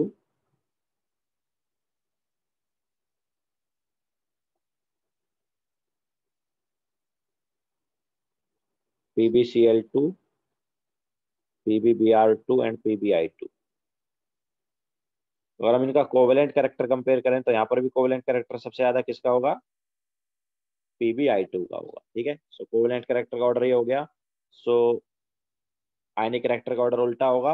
obviously solubility का ऑर्डर भी क्या रहेगा? उल्टा ही रहेगा ओके तो सॉलिबिलिटी इन वाटर अगर हम देखेंगे तो सबसे ज़्यादा किसका होगा? पीबी एफ़ टू का होगा।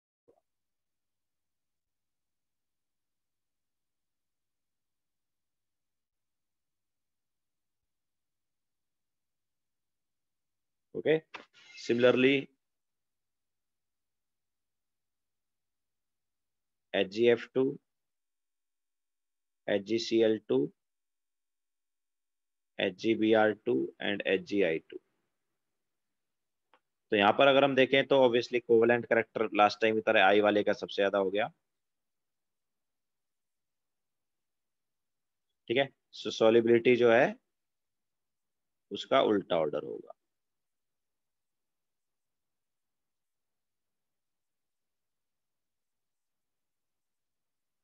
बिकॉज़ कोवलेंट करेक्टर ज़्यादा हो जाएगा एच जी आई टू का तो उसका आयनिक करेक्टर सबसे कम हो जाएगा। तो ये हमारे पास सॉलिबिलिटी का ऑर्डर है। अब देखो सॉलिबिलिटी हम पहले ही तुम्हें एक दूसरे फैक्टर से ऑलरेडी बता चुके कौन सा फैक्टर था याद है वो? लेटिस एंड हाइड्रेशन एनर्जी से मैं तुम्हें ऑलरेडी बताया है वो। ओके सॉलिबिलिटी चेक करने के लिए हम दो चीज़ें देखते हैं। एक तो हम फजांस रूल वाला पार्ट यूज़ करते हैं, जो भी कर रहे हैं। मतलब पोलराइजेशन वाला पार्ट सोलिबिलिटी के लिए तो आयनिक एंड कोवलेंट कैरेक्टर देखा जाता है, जो कि ये फजान रूल है पोलराइजेशन में आ गया। और दूसरा फैक्टर देखा जाता है, lattice and hydration energy. So, lattice and hydration energy हम ऑलरेडी करा चुके हैं। लेटिस और हाइड्रेशन एनर्जी से कैसे हम सोलिबिलिटी देखते थे, वो ऑलरेडी करा चुके हैं, ठीक है? एक्चुअली जनरली मतलब सोलिबिलिटी जो है, वो उसी से चेक किया जाएगा, लेटिस एंड हाइड्रेशन एनर्जी से। बट कुछ कुछ एक्सेप्शन आ जाते हैं जहाँ पर लैटिस और हाइड्रेशन एनर्जी जो है, उससे रॉन्ग मिलता है सॉलिबिलिटी ठीक है? जैसे ये जो एग्जांपल है, यहाँ पर हम सॉलिबिलिटी किसके थ्रू लेते हैं? ये जो एग्जांपल है, इसमें हम सॉलिबिलिटी फजान्स रूल या हम बोल सकते हैं कोवेलेंट एंड आयनिक करेक्टर के बेसिस पर लेते हैं। Okay okay? तो जितने एग्ज़ाम्पल हमने लिखवाए उस हिसाब से देखो। ये जो एग्जाम्पल्स हमने लिखवाए इसमें फॉजांस या कोवलेंट और आयनिक कैरेक्टर वाला के थ्रू करेंगे और बाकी एग्ज़ाम्पल में एंड हाइड्रेशन एनर्जी के थ्रू ठीक है? याद रखना है मतलब तुम्हें। ओके बाकी हमें वैसे तो एक्सपेरिमेंटली पता चलता है, लेकिन एक्सपेरिमेंट हम करने जाएँगे नहीं तो हमें तो क्या करना है? याद रखना है। ओके कौन से एग्ज़ाम्पल कम है भाई? ऑब्वियसली फजांस रूल वाले एग्जांपल कम है। अब हम बोल सकते हैं कम ऐसे कम केस है जिनमें फजांस रूल लग रहा है फॉर सॉलिबिलिटी मैक्सिमम केस में सॉलिबिलिटी के लिए क्या लगेगा? लेटिस एंड हाइड्रेशन एनर्जी वाला कॉन्सेप्ट लगेगा। तो इसलिए ये वाले कुछ एक्सेप्शन याद रख लो, जो हमने यहाँ पर लिखवाए हैं। ये हम बोल सकते हैं, इनमें ही फजांस रूल लगता है। बाकी जगह जनरली क्या लगता है?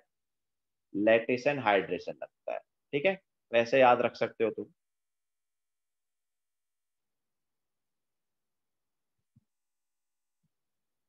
तो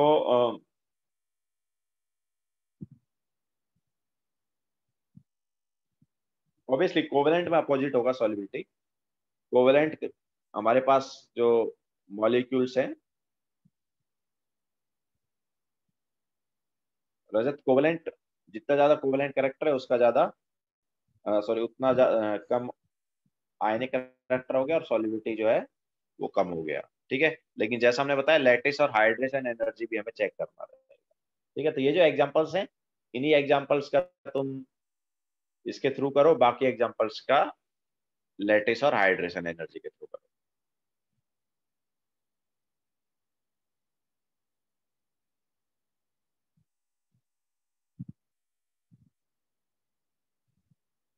नहीं रिया एक्चुअली ऐसा फिक्स नहीं है।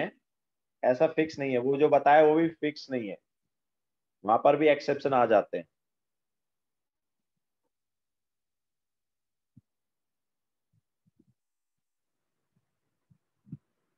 ठीक है? तो चलो ब्रेक ले लेते हैं आफ्टर ब्रेक कंटिन्यू करते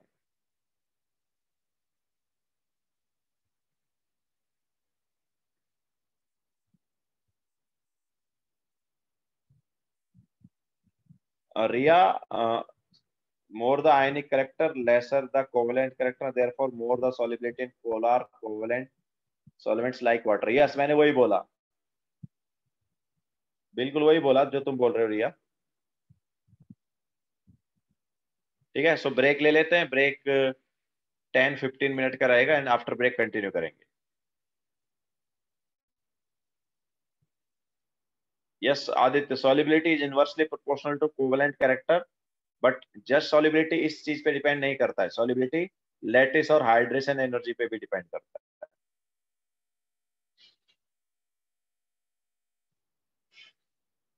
ठीक है, चलो ब्रेक है। आफ्टर ब्रेक कंटिन्यू करेंगे।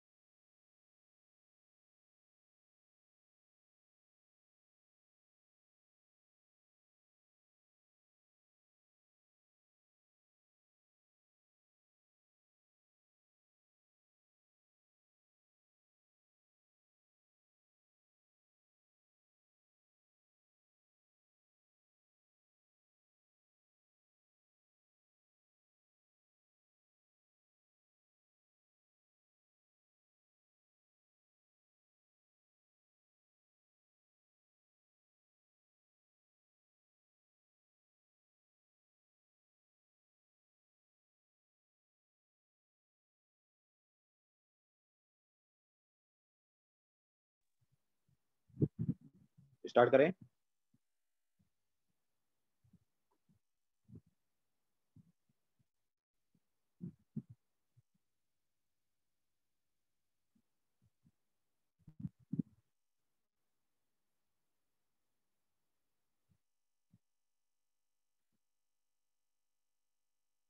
आ गए क्या सब लोग।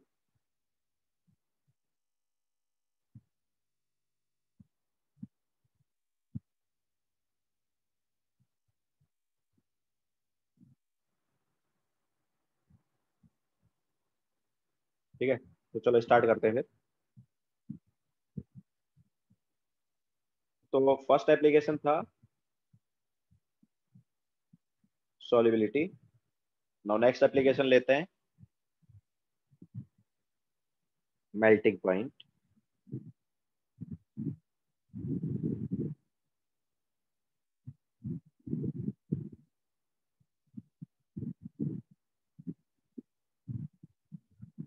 तो देखो मेल्टिंग पॉइंट की अगर हम बात करेंगे तो मेल्टिंग पॉइंट जो है, इसमें भी ऐसा होता है कि जो आयनिक कंपाउंड होते हैं जनरली उनका मेल्टिंग पॉइंट कोवलेंट कंपाउंड से ज़्यादा होता है, ठीक है? तो generally melting point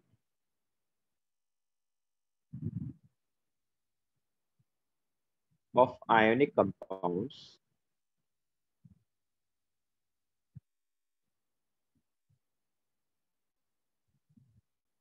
is higher than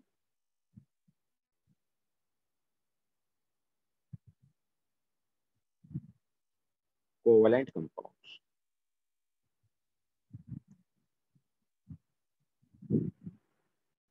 ठीक है सो so, जितना ज़्यादा आयनिक करेक्टर होगा उतना ज़्यादा क्या हो जाएगा? मेल्टिंग पॉइंट हो जाएगा। ओके सेकेंड एप्लीकेशन है मेल्टिंग पॉइंट और जनरली हम बोल रहे हैं कि मेल्टिंग पॉइंट जो है आयनिक कंपाउंड का जनरली ज़्यादा होता है किससे? कोवलेंट कंपाउंड से। ओबियसली मेल्टिंग पॉइंट ज़्यादा है तो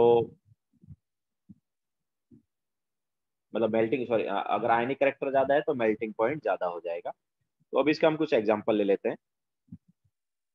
तो देखो आ,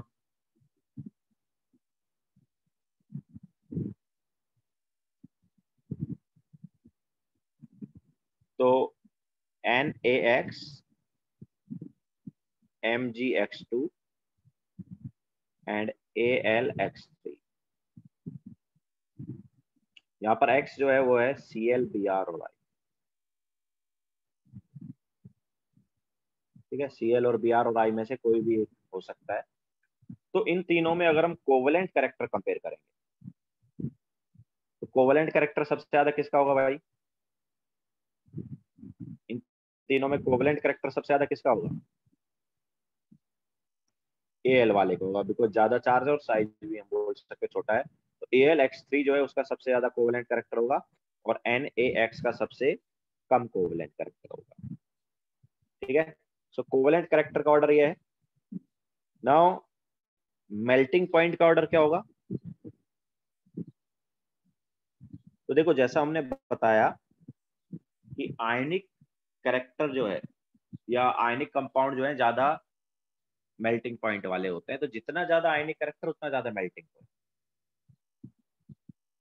okay ionic character ज़्यादा है तो मेल्टिंग पॉइंट ज़्यादा है। तो ऑब्वियसली आयनिक करेक्टर तो यार उल्टा है ना कोवलेंट करेक्टर का। Okay okay? मतलब एन जो है, उसका कोवलेंट करेक्टर सबसे कम है मतलब उसका आयनिक करेक्टर सबसे ज़्यादा है। तो एन एक्स का आयनिक करेक्टर सबसे ज़्यादा है तो उसका जो मेल्टिंग पॉइंट है वो भी सबसे ज़्यादा होगा, ठीक है? तो यहाँ पर मेल्टिंग पॉइंट जब हम कंपेयर करेंगे तो मेल्टिंग पॉइंट का ऑर्डर ये हो जाएगा। This is order of melting point ठीक है? सिमिलरली अगर हम यहाँ पर देखें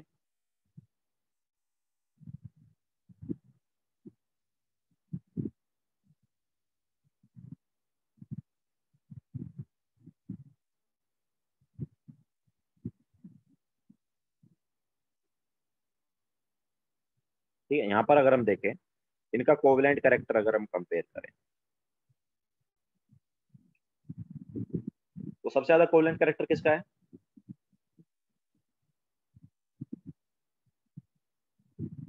सबसे ज़्यादा कोवलेंट करेक्टर किसका है? बी वाले का बिकॉज़ इसका साइज़ छोटा है देखो, चार सभी में सेम है ना? B two positive M G two positive C A two positive चार सब में सेम आ रहा है। चार सेम में तो हम क्या देखेंगे? साइज़ देखेंगे। तो साइज़ सबसे छोटा कौन सा है किसका है? बी टू पॉजिटिव का इस कैटायन का साइज़ सबसे छोटा है। तो सबसे छोटा कैटायन है मतलब सबसे ज़्यादा कोवलेंट करेक्टर हो जाएगा यहाँ पर। तो कोवलेंट करेक्टर का जो ऑर्डर है, वो ये रहेगा। ओके तो मेल्टिंग पॉइंट का ऑर्डर क्या होगा यार? मेल्टिंग पॉइंट जो है, उसका ऑर्डर क्या हो जाएगा इसका? उल्टा हो जाएगा। क्यों क्योंकि आयनिक करेक्टर का जो ऑर्डर होता है। वही मेल्टिंग पॉइंट का ऑर्डर भी हो जाएगा।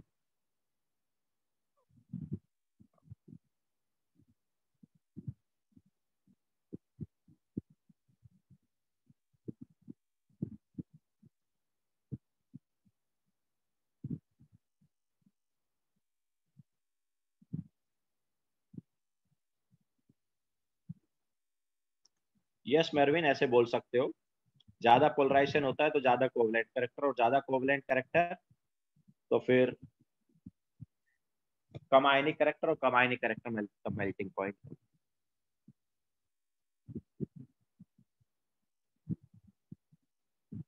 ठीक है तो जितना ज़्यादा कोवलेंट करेक्टर उतना कम मेल्टिंग पॉइंट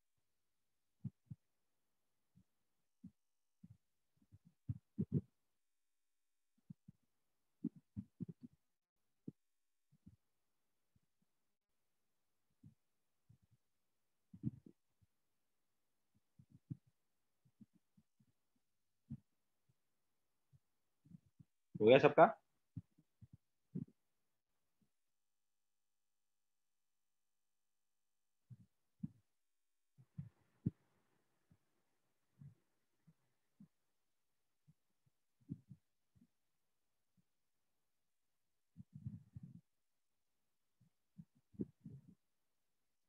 ठीक है। चलो और एग्जांपल लेते हैं।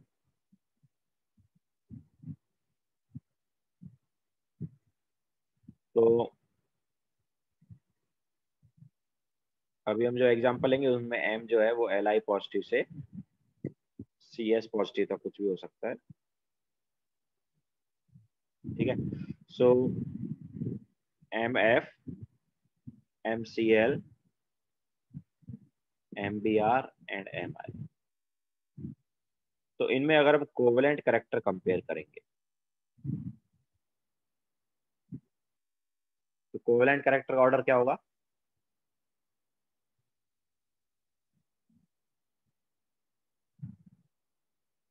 यहाँ पर अगर हम कोवेलेंट करेक्टर कंपेयर करेंगे तो क्या होगा? सबसे ज़्यादा कोवेलेंट करेक्टर किसका होगा?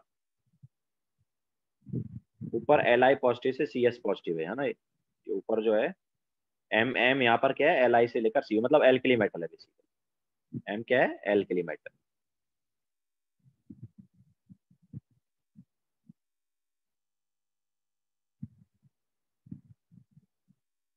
तो यहाँ पर कोवलेंट करेक्टर सबसे ज़्यादा किसका है? एम आई का। बिकॉज़ अब देखो पॉजिटिव आयन तो सब में सेम है। नेगेटिव आयन देखेंगे तो सबसे बड़ा नेगेटिव आयन किसमें? एम आई में। तो नेगेटिव आयन बड़ा है तो कोवलेंट करेक्टर ज़्यादा होगा। ना कोवलेंट करेक्टर ज़्यादा है तो इसका आयनिक करेक्टर सबसे कम होगा। मतलब मेल्टिंग पॉइंट सबसे कम होगा, ठीक है? सो मेल्टिंग पॉइंट का जो ऑर्डर है, वो कोवलेंट करेक्टर के ऑर्डर का, क्या हो गया? उल्टा हो गया। मतलब एम एफ़ का कोवलेंट मेल्टिंग पॉइंट सबसे ज़्यादा है।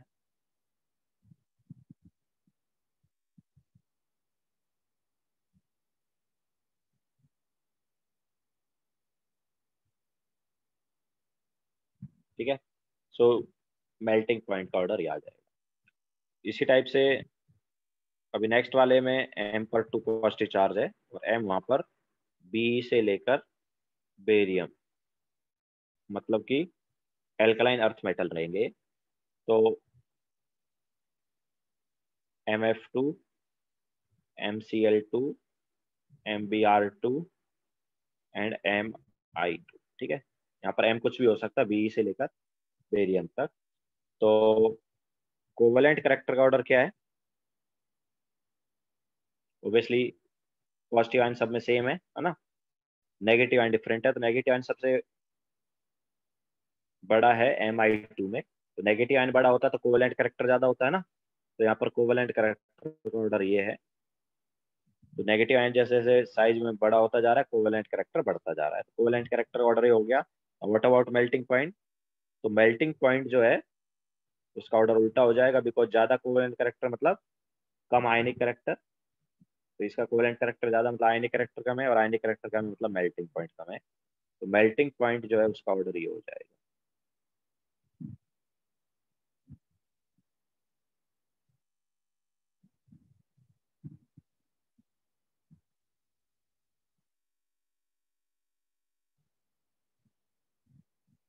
ओके सो ये मेल्टिंग पॉइंट का ऑर्डर हो गया।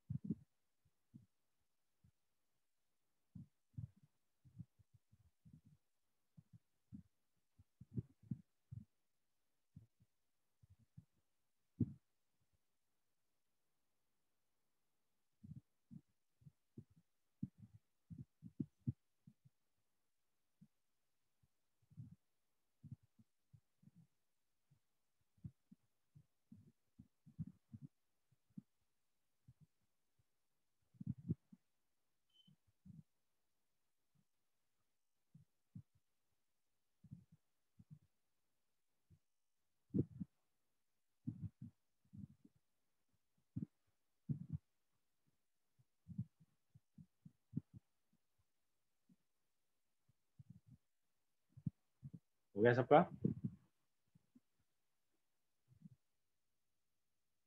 तो देखो, जैसे सॉलिबिलिटी में दो चीज़ें आ रही थी हाँ दो पर डिपेंड कर रहा था, एक तो पोलराइजेशन पर डिपेंड कर रही थी सॉलिबिलिटी और दूसरा लैटिस और हाइड्रेशन तो इस, ऐसे ही मेल्टिंग पॉइंट भी एक और फैक्टर है जिस पर डिपेंड करता है। ठीक है? मेल्टिंग पॉइंट जो है वो एक और दूसरा फैक्टर जिस पे डिपेंड करता है। जनरली मेल्टिंग पॉइंट जो है वो हम फजांस रूल से ही देखेंगे।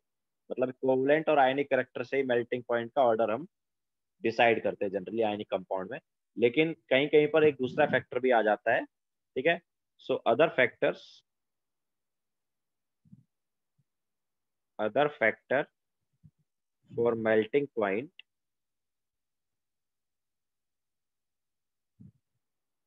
of ionic compound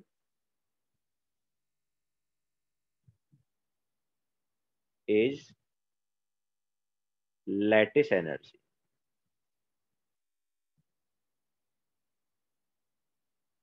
ठीक है? सो मेल्टिंग पॉइंट जो है, वो लेटिस एनर्जी पे भी डिपेंड करता है। और कैसे करता है भाई? तो मेल्टिंग पॉइंट जो है इट इज़ डायरेक्टली प्रोपोर्शनल होता है लेटिस एनर्जी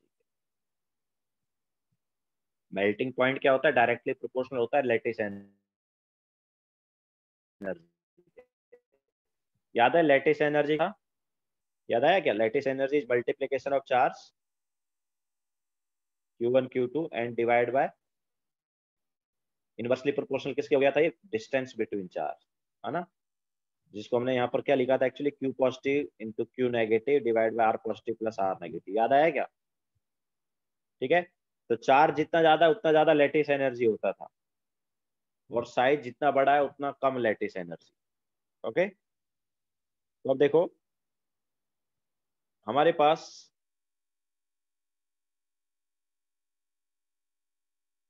जैसे L I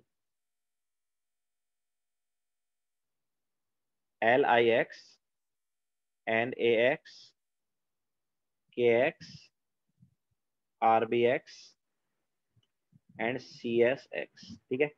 यहाँ पर एक्स जो है वो सी एल और बी आर में से कोई एक है। तो अब देखो यहाँ पर अगर हम कोवलेंट करेक्टर का ऑर्डर देखें तो क्या है भाई? कोवलेंट करेक्टर का ऑर्डर बताओ क्या होगा? सबसे ज़्यादा कोवलेंट करेक्टर किसका होगा? एल आई वाले का होगा, क्योंकि नेगेटिव आयन सब में एक्स है, वो कॉमन हो गया। पॉजिटिव आयन जब देखेंगे, सब पर चार सेम है तो फिर साइज़ देखना पड़ेगा। साइज़ सबसे छोटा एल आई का है तो सबसे ज़्यादा covalent character L I X का हो गया। ठीक है? अच्छा अगर हम इसके हिसाब से मेल्टिंग पॉइंट देखते, इसके हिसाब से मेल्टिंग पॉइंट देखते तो मेल्टिंग पॉइंट का ऑर्डर क्या होना चाहिए था?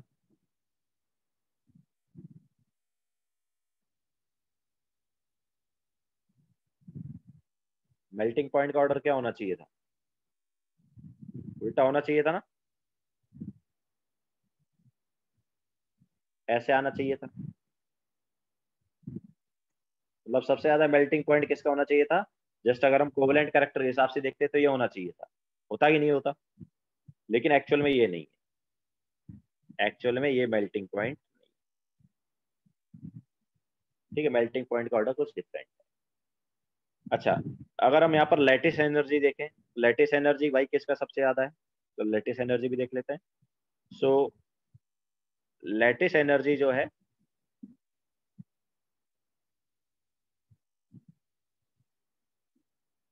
लेटिस एनर्जी किस पे डिपेंड करता है? चार्ज पर और साइज़ पर। अब देखो, यहाँ पर चार तो सेम है। चार सारे केस में क्या सेम है? तो जैसे जैसे साइज़ बढ़ता है वैसे वैसे लेटिस एनर्जी कम होता जाता है। ओके जैसे जैसे साइज़ बढ़ता है, वैसे वैसे लेटिस एनर्जी क्या होता जाता है? कम होता जाता है।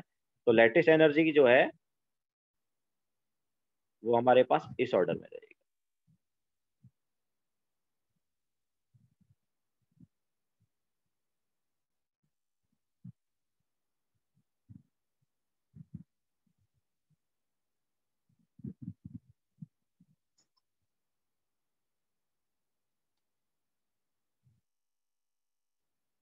ठीक है लेटिस एनर्जी का ऑर्डर ये रहेगा अब देखो कोवलेंट करेक्टर का ऑर्डर भी यही है और लेटिस एनर्जी का ऑर्डर भी यही है ना? तो कोवलेंट करेक्टर के हिसाब से तो यार इसका उल्टा ऑर्डर होना चाहिए मेल्टिंग पॉइंट का है कि नहीं? लेकिन लेटेस्ट एनर्जी के हिसाब से सेम यही ऑर्डर हो जाना चाहिए मेल्टिंग पॉइंट का। ओके दोनों एक दूसरे को अपोज कर रहे हैं, देखो।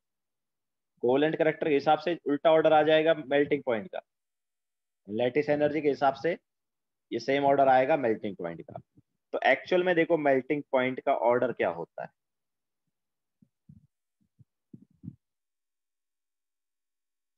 तो यहाँ पर इन सब का जब हम मेल्टिंग पॉइंट चेक करते हैं एक्सपेरिमेंटली जब देखा गया तो मेल्टिंग पॉइंट इसमें सबसे ज़्यादा होता है एन ए एक्स मतलब ऐसा हमारे पास मेल्टिंग पॉइंट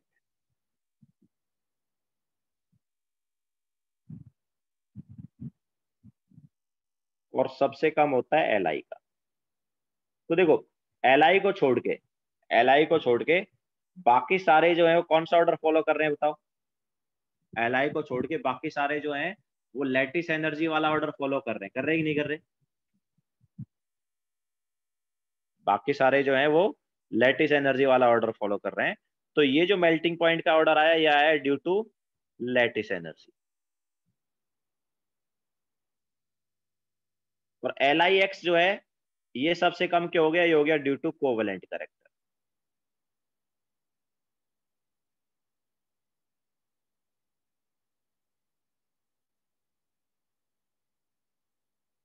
okay क्योंकि एल आई एक्स जो है, उसका कोवलेंट करेक्टर सबसे ज़्यादा है।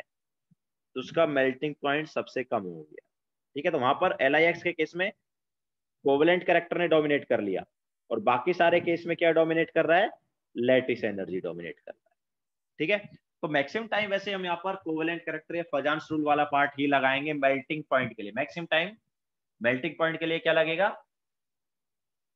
कोवलेंट करेक्टर या फजांस रूल लेकिन कुछ कुछ केसेज में क्या लग जाता है? कुछ कुछ केसेस में लेटिस एनर्जी वाला भी लग जाता है। तो ऑब्वियसली क्या करोगे? यहाँ पर कुछ ही केसेज में लेटिस एनर्जी वाला लग रहा है ना? तो जहाँ पर लेटिस एनर्जी वाला लग रहा है, वो याद रख लो। ठीक है? जैसे ये वाला केस हो गया तो ये इसमें हमें पता है कि ये ऑर्डर रहता है तो ये ऑर्डर याद रख बाकी जगह क्या करोगे? बाकी जगह फॉलो करोगे covalent and ionic character okay yes Mervin R square नहीं होता वो आर होता है। Inversely proportional to R square नहीं आर है। ठीक है?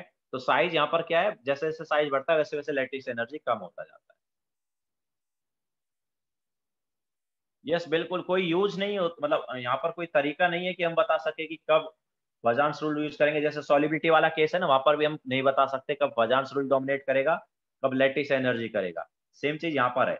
लेकिन मैं ये ज़रूर बोल सकता हूँ कि यार मैक्सिमम टाइम मैक्सिमम टाइम यहाँ पर क्या डोमिनेट करेगा?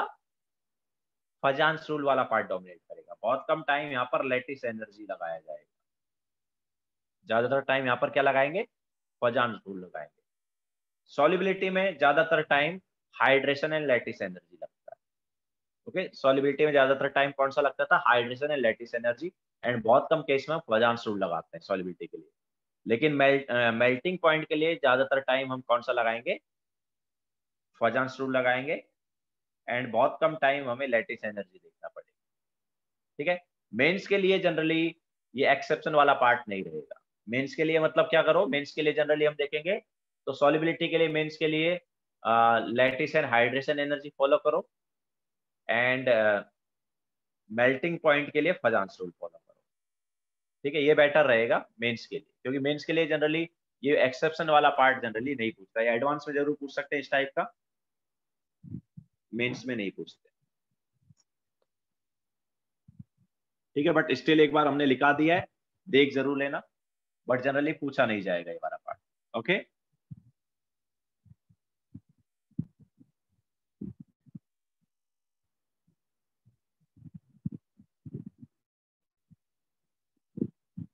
तो ये हमारे पास सेकंड एप्लीकेशन हो गया मेल्टिंग पॉइंट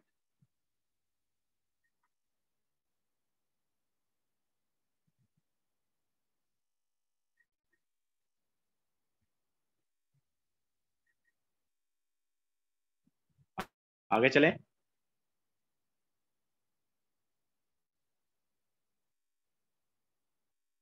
नाउ नेक्स्ट लेते हैं।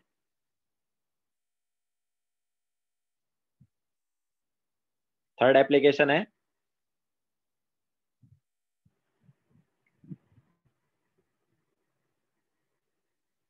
Acidic strength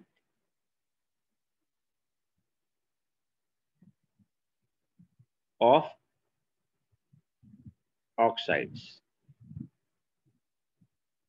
acidic strength of oxides ठीक है, वैसे ही हम ऑलरेडी पीरियोडिक प्रॉपर्टीज़ में करा चुके हैं बट एक बार फिर से देख लेते हैं। तो पीरियोडिक प्रॉपर्टीज़ में हमने बताया था कि लेफ़्ट टू राइट ऑक्साइड्स का क्या होता है? एसिडिक स्ट्रेंथ बढ़ता है। बताया था ना? लेफ़्ट टू राइट जब हम जाते हैं पीरियोडिक टेबल में तो एसिडिक स्ट्रेंथ ऑक्साइड का बढ़ता था और डाउन द ग्रुप क्या होता था? कम होता था। ये बताया था हमने वहाँ पर। ठीक है? वही सेम चीज़ यहाँ पर भी होने वाली है, देखो। तो ऐसा होता है, जितना ज़्यादा पोलराइजेशन होगा,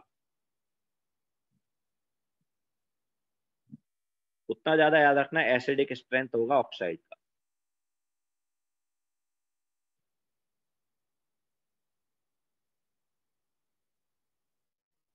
जितना ज़्यादा पोलराइजेशन उतना ज़्यादा एसिडिक स्ट्रेंथ होगा किसका?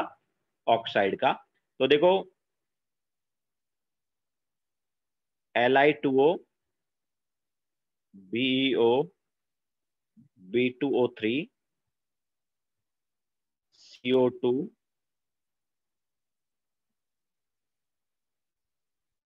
and N two O five ठीक है? सो so, ये हमने सेकेंड पीरियड ले लिया लेफ़्ट टू राइट जा रहे हैं बेसिकली तो देखो जैसे जैसे हम लेफ़्ट टू राइट जा रहे हैं तो यहाँ पर क्या हो रहा है? साइज़ छोटा होता जा रहा है L I B boron carbon nitrogen and charge की वैल्यू बढ़ती जा रही है।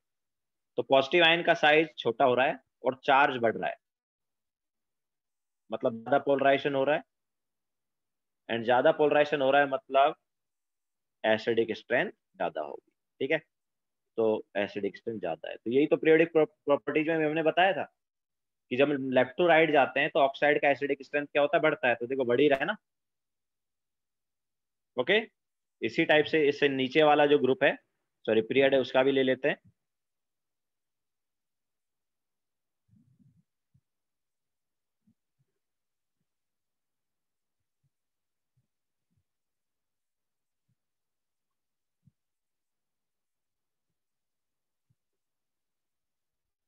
तो इसमें भी क्या हुआ है? एन ए से एम जे गए एम जी से ए एल आई एल से एस आई एस आई से फॉस्फोरस तो साइज़ जो है, वो छोटा होता गया है। ठीक है? इसके साथ साथ चार्ज जो है वो उसकी वैल्यू बढ़ती गई है। Okay N A plus M G two plus A L three plus S I पर फोर प्लस है फॉस्फोरस यहाँ पर फाइव प्लस है। इस टाइप से चार्ज की वैल्यू क्या होती गई है? बढ़ती गई है। तो साइज़ पॉजिटिव आयन का छोटा होता गया चार्ज बढ़ता गया तो ऑब्वियसली ज़्यादा पोलराइजेशन होता जाएगा और पोलराइजेशन ज़्यादा है तो हमने बताया ज़्यादा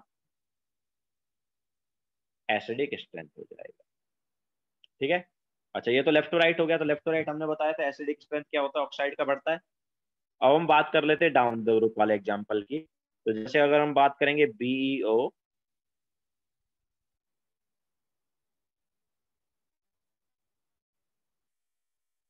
ठीक है, ये वाला एग्ज़ाम्पल मान लो हमने ले लिया।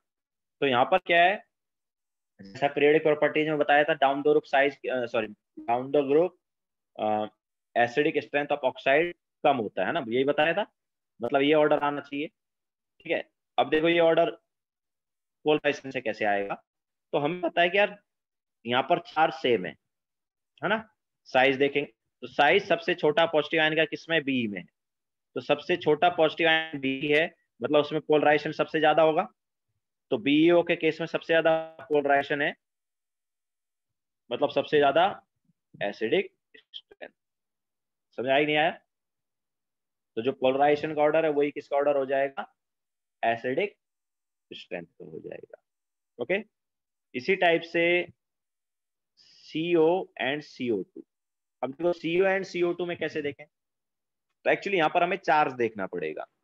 ऑक्सीजन पे होता है माइनस टू चार्ज ऑक्सीजन पे कितना होता है? माइनस टू तो ऑक्सीजन पे माइनस टू होता है तो सीओ के केस में कार्बन पे फिर कितना हो जाएगा?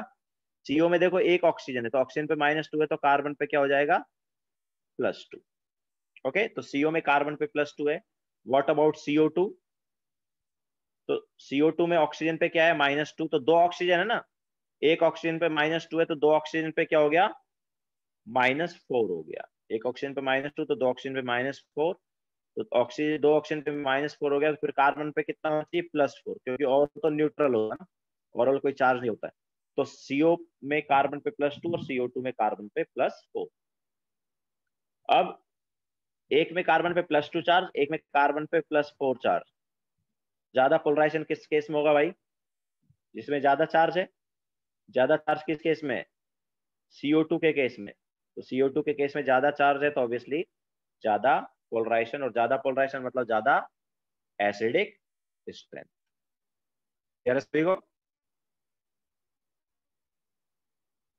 इसी टाइप से अगर हम यहाँ पर बात करें N sorry S O two and S O three की। तो SO2 और एसओ थ्री की अगर हम बात करेंगे तो एसओ टू अब देखो यहाँ पर दो ऑक्सीजन है तो दो एक ऑक्सीजन पे माइनस टू तो दो ऑक्सीजन पे माइनस फोर तो दो ऑक्सीजन पे माइनस फोर हो गए तो उसकी वजह से सल्फ़र पर कितना आएगा? प्लस फोर आएगा। And what about S O three तो एसओ थ्री में तो SO3 में एक ऑक्सीजन पे minus two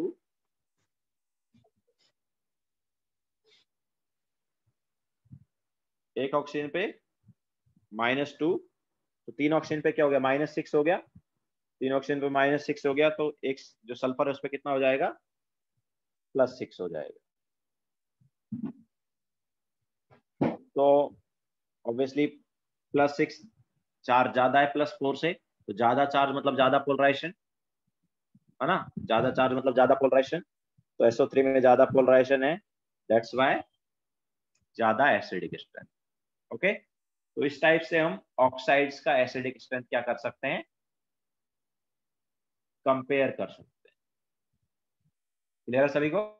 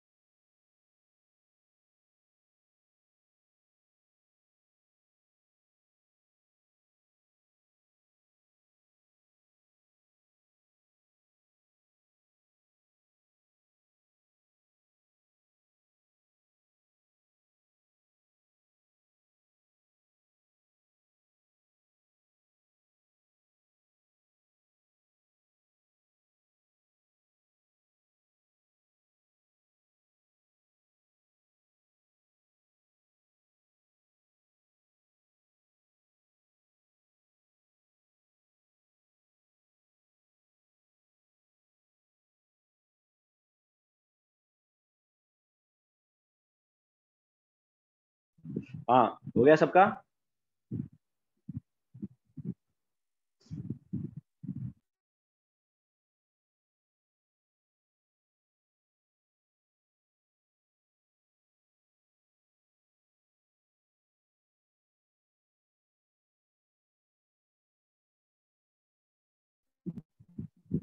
okay so now आगे चलते हैं।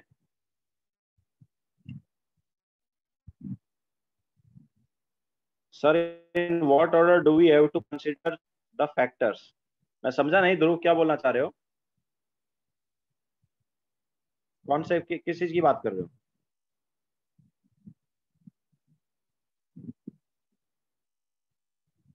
About which factors?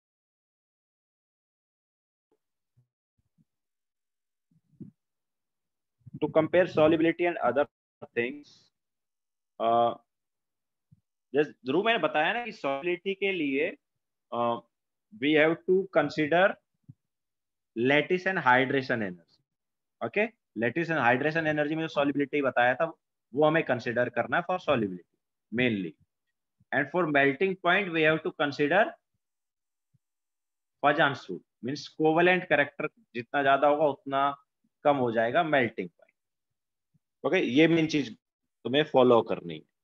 कहीं कहीं पे एक्सेप्शन आएँगे वो एक्सेप्शन आएँगे बिकॉज़ ऑफ़ अदर थिंग्स जैसे सॉलिबिलिटी में जो एक्सेप्शन आएगा वो आ जाएगा because of Fajans rule and melting point में जो एक्सेप्शन आ जाएगा वो आ जाएगा because of lettuce energy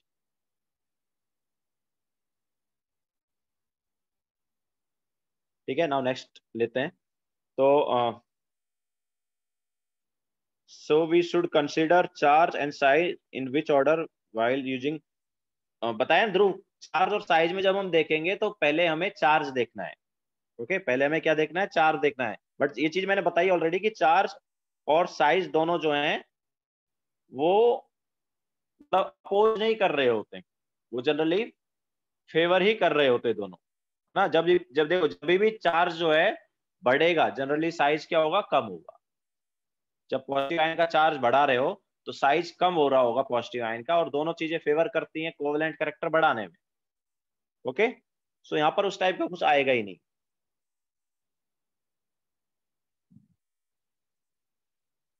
now next हम लेते हैं आ,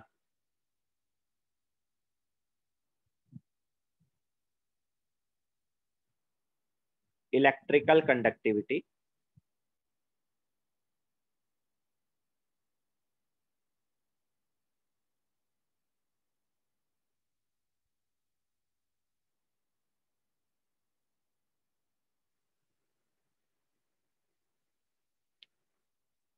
तो इलेक्ट्रिकल कंडक्टिविटी की अगर हम बात करेंगे तो ऑब्वियसली जो अच्छा कौन जा कौन अच्छे कंडक्टर होंगे? आयनिक कंपाउंड मतलब ऑब्वियसली वाटर में कंडक्टिविटी की बात कर रहे हैं जनरली हम एक तरह से देखें तो, तो किसकी कंडक्टिविटी ज़्यादा होगी आयनिक की या कोवलेंट की?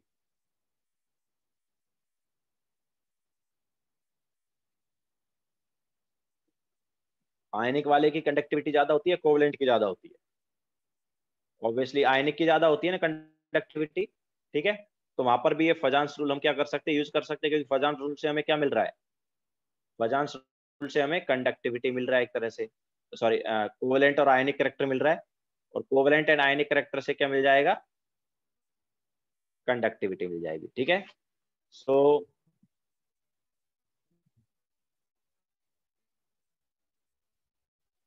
तो जैसे जैसे पोलराइजेशन बढ़ेगा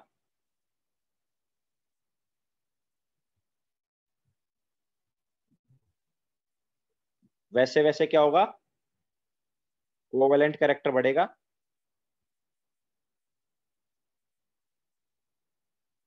कोवेलेंट कैरेक्टर बढ़ेगा मतलब आयनिक कैरेक्टर क्या हो जाएगा? कम हो जाएगा। आयनिक कैरेक्टर कम होगा तो कंडक्टिविटी जो है वो क्या हो जाएगी? कम हो जाएगी। ओके आयनिक कंपाउंड जो है वो ज़्यादा, उनकी ज़्यादा कंडक्टिविटी होती है। तो बेसिकली पोलराइजेशन के बढ़ने की वजह से कंडक्टिविटी कम हो रही है। Okay so L I C L और बी सी एल टू दोनों में अगर हम देखें तो ऑब्वियसली किसका कोवलेंट करेक्टर ज़्यादा है? पहले हम देख चुके हैं एल आई सी एल और बी सी एल टू में कोवलेंट करेक्टर किसका ज़्यादा है?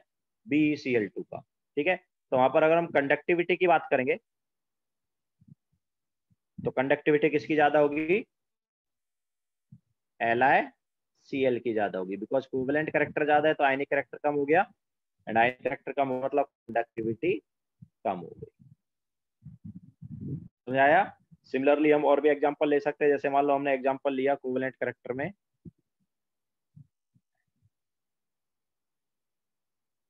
L I C L and sorry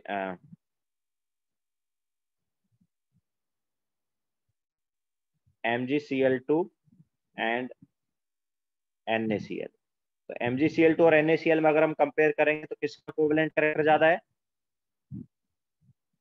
M G C L two का।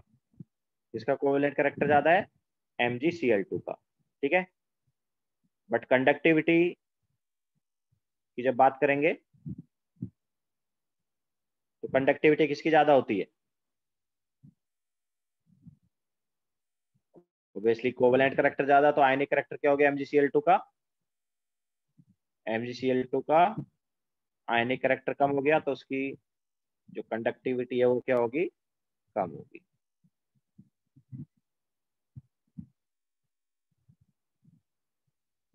ठीक है? तो यहाँ पर कंडक्टिविटी ऑर्डर ये आ जाएगा।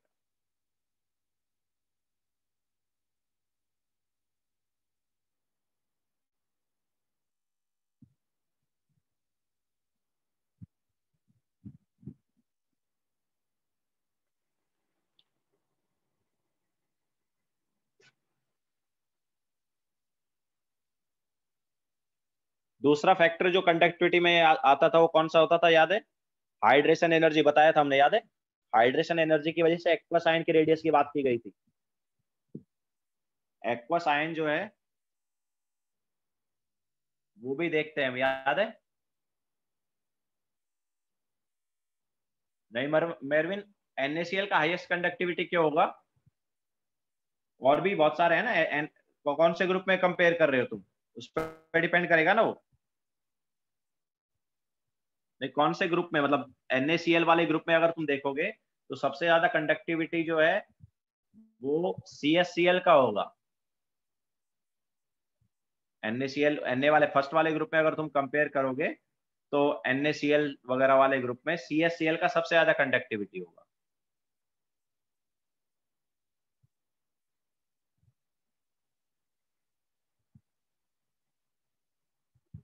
हाइड्रेशन एनर्जी से हम क्या देखते थे, याद है? हाइड्रेशन एनर्जी के थ्रू हम एक्वासाइन के रेडियस की बात करते थे आयनिक मोबिलिटी की बात करते थे। याद आया क्या? तो आयनिक मोबिलिटी जितनी ज़्यादा होती है, उतना ज़्यादा कंडक्टेंस होता है। आयनिक मोबिलिटी जितनी ज़्यादा होती है, उतनी ज़्यादा कंडक्टेंस होता है। हाँ वो पढ़ाया है पहले, है ना? हाइड्रेशन एनर्जी के थ्रू आयनिक मोबिलिटी बताई है ना। तो आयनिक मोबिलिटी जितनी ज़्यादा उतना ज़्यादा कंडक्टेंस बेसिकली आयनिक मोबिलिटी क्या है? वो है आयन की स्पीड तो जितना अच्छे से आयन ट्रेवल कर रहा है, जितनी स्पीड से आयन ट्रेवल कर रहा है, उतना ज़्यादा है उसकी क्या है? कंडक्टिविटी है। ओके सो जब हमारे पास आयनिक मोबिलिटी ज़्यादा होती थी तो कंडक्टिविटी भी उसकी वजह से क्या होगी? ज़्यादा होगी। ओके तो आपने एक्वस आयन की रेस की बात की थी। यस बिल्कुल। हाइड्रेशन एनर्जी जो है वो दूसरा फैक्टर हो जाएगा इलेक्ट्रिकल कंडक्टिविटी के लिए। हाइड्रेशन एनर्जी बेसिकली क्यों होगा? क्योंकि हमें हाइड्रेटेड रेडियस की बात करनी ठीक है? तो हाइड्रेटेड रेडियस दूसरा फैक्टर बोल सकते हो तुम। अदर फैक्टर क्या बोल सकते हो? हाइड्रेटेड रेडियस या एक्वासाइन का रेडियस जितना बड़ा एक्वासाइन उतना कम कंडक्टिविटी जनरली वही वाला फैक्टर यूज़ किया जाएगा। वैसे दोनों फैक्टर जो है सेम डायरेक्शन में जा रहे होंगे। दोनों फैक्टर जो है सेम ही चीज़ बता रहे होंगे।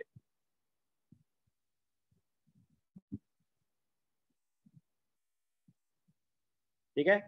जैसे बता, अगर हम एक बार कराएँ, जैसे मान लो फ़र्स्ट ग्रुप बात करें तो फ़र्स्ट ग्रुप में अगर हम बात करें L I C L N A C L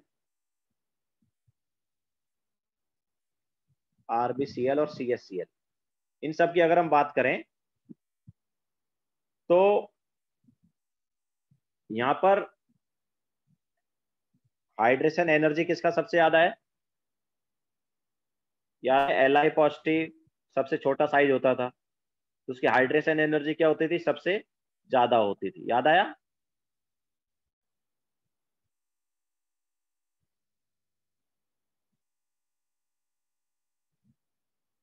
और ज़्यादा हाइड्रेशन एनर्जी मतलब साइज़ जो है एक्वासाइन का वो भी सबसे बड़ा होगा।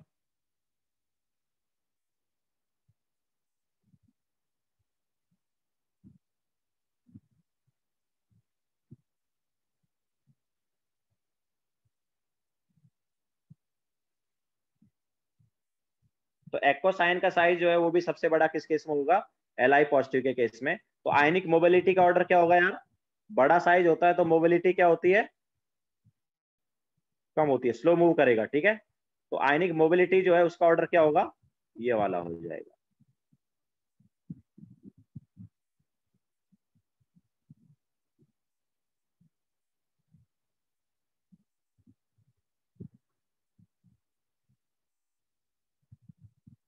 ठीक है, ये आयनिक मोबिलिटी का ऑर्डर है तो कंडक्टेंस का ऑर्डर क्या होगा?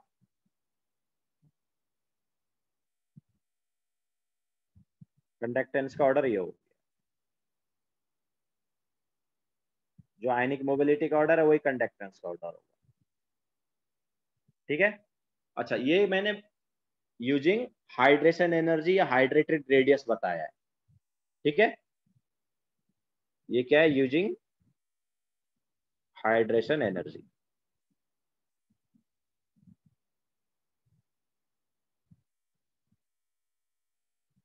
अच्छा यहाँ पर अगर तुम ये वाला कॉन्सेप्ट लगाते, कौन सा वाला? पोलराइजेशन वाला। तो इसमें देखो, सबसे ज़्यादा पोलराइजेशन किसका? इसमें सबसे ज़्यादा पोलराइजेशन किसका? एल का ना? है कि नहीं? तो एल में सबसे ज़्यादा पोलराइजेशन मतलब कोवलेंट करेक्टर का ऑर्डर ये रहता। तो कोवलेंट करेक्टर का ऑर्डर ये होता तो आयनिक करेक्टर का ऑर्डर इसका उल्टा होता।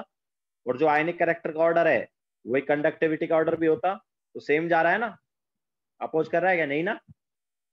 ठीक है? सो जनरली दोनों सेम ही चीज़ बता रहे होंगे।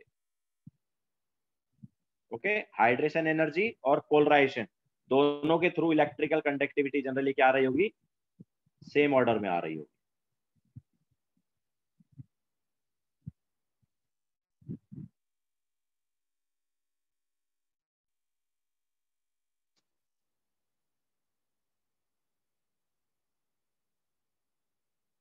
हो गया सबका? लेक्चर ओवर करें। ठीक है सो होमवर्क नोट कर लो। आज का।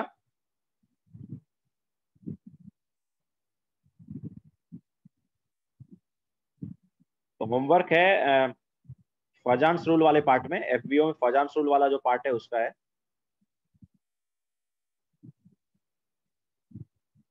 Bond parameter and Fajans rule वाला पार्ट है तो question number two two five then nine two twelve इसके बाद nineteen twenty one twenty two ठीक है? ये आज का होमवर्क रहेगा। होमवर्क करो और इसके साथ साथ यूट्यूब पर मैंने वीडियो सॉल्यूशन अपलोड किए हैं केमिकल बॉन्डिंग के, ठीक है? मैं वो भी शेयर कर दूँगा। मतलब पहले होमवर्क कर लेना, उसके बाद ही वो देखना। ऐसा नहीं है कि होमवर्क करने से पहले ही देख लिया।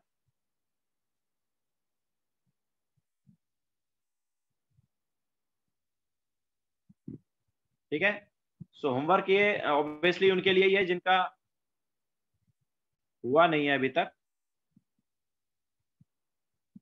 बाकी काफ़ी बैचेज में सब पार्ट हो चुका है।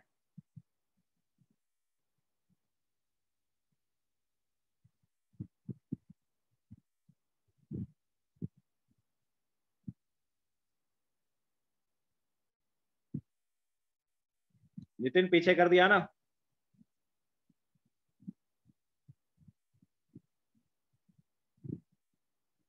ठीक है सो लेक्चर ओवर हो गया है।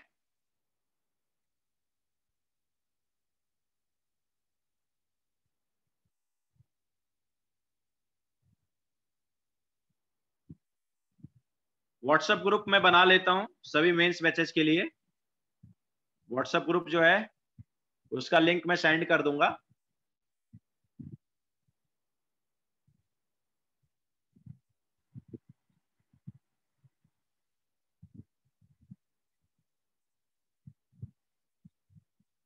आशीष केमिस्ट्री में काफ़ी है मतलब केमिस्ट्री में अप्रोक्सीमेटली थर्टी थ्री चैप्टर्स के अराउंड है। रजत, वो पहले वाला जो ग्रुप है, वो ट्वेंटी फिफ्थ जुलाई और अगस्त वगैरह बैचेस के लिए ही है। अभी सारे बैच मर्ज हो गए हैं तो एक नया ग्रुप बनाना है। सारे मेंस बैचेज मर्ज हो गए ना तो उसका एक अलग ग्रुप बनेगा। ये ऐसा करते नाम चेंज कर देते हैं ना? उसी में बाकी को ऐड करा लेता हूँ मैं। नाम चेंज करके उसी में ऐड करा लेते वो बेटर रहेगा।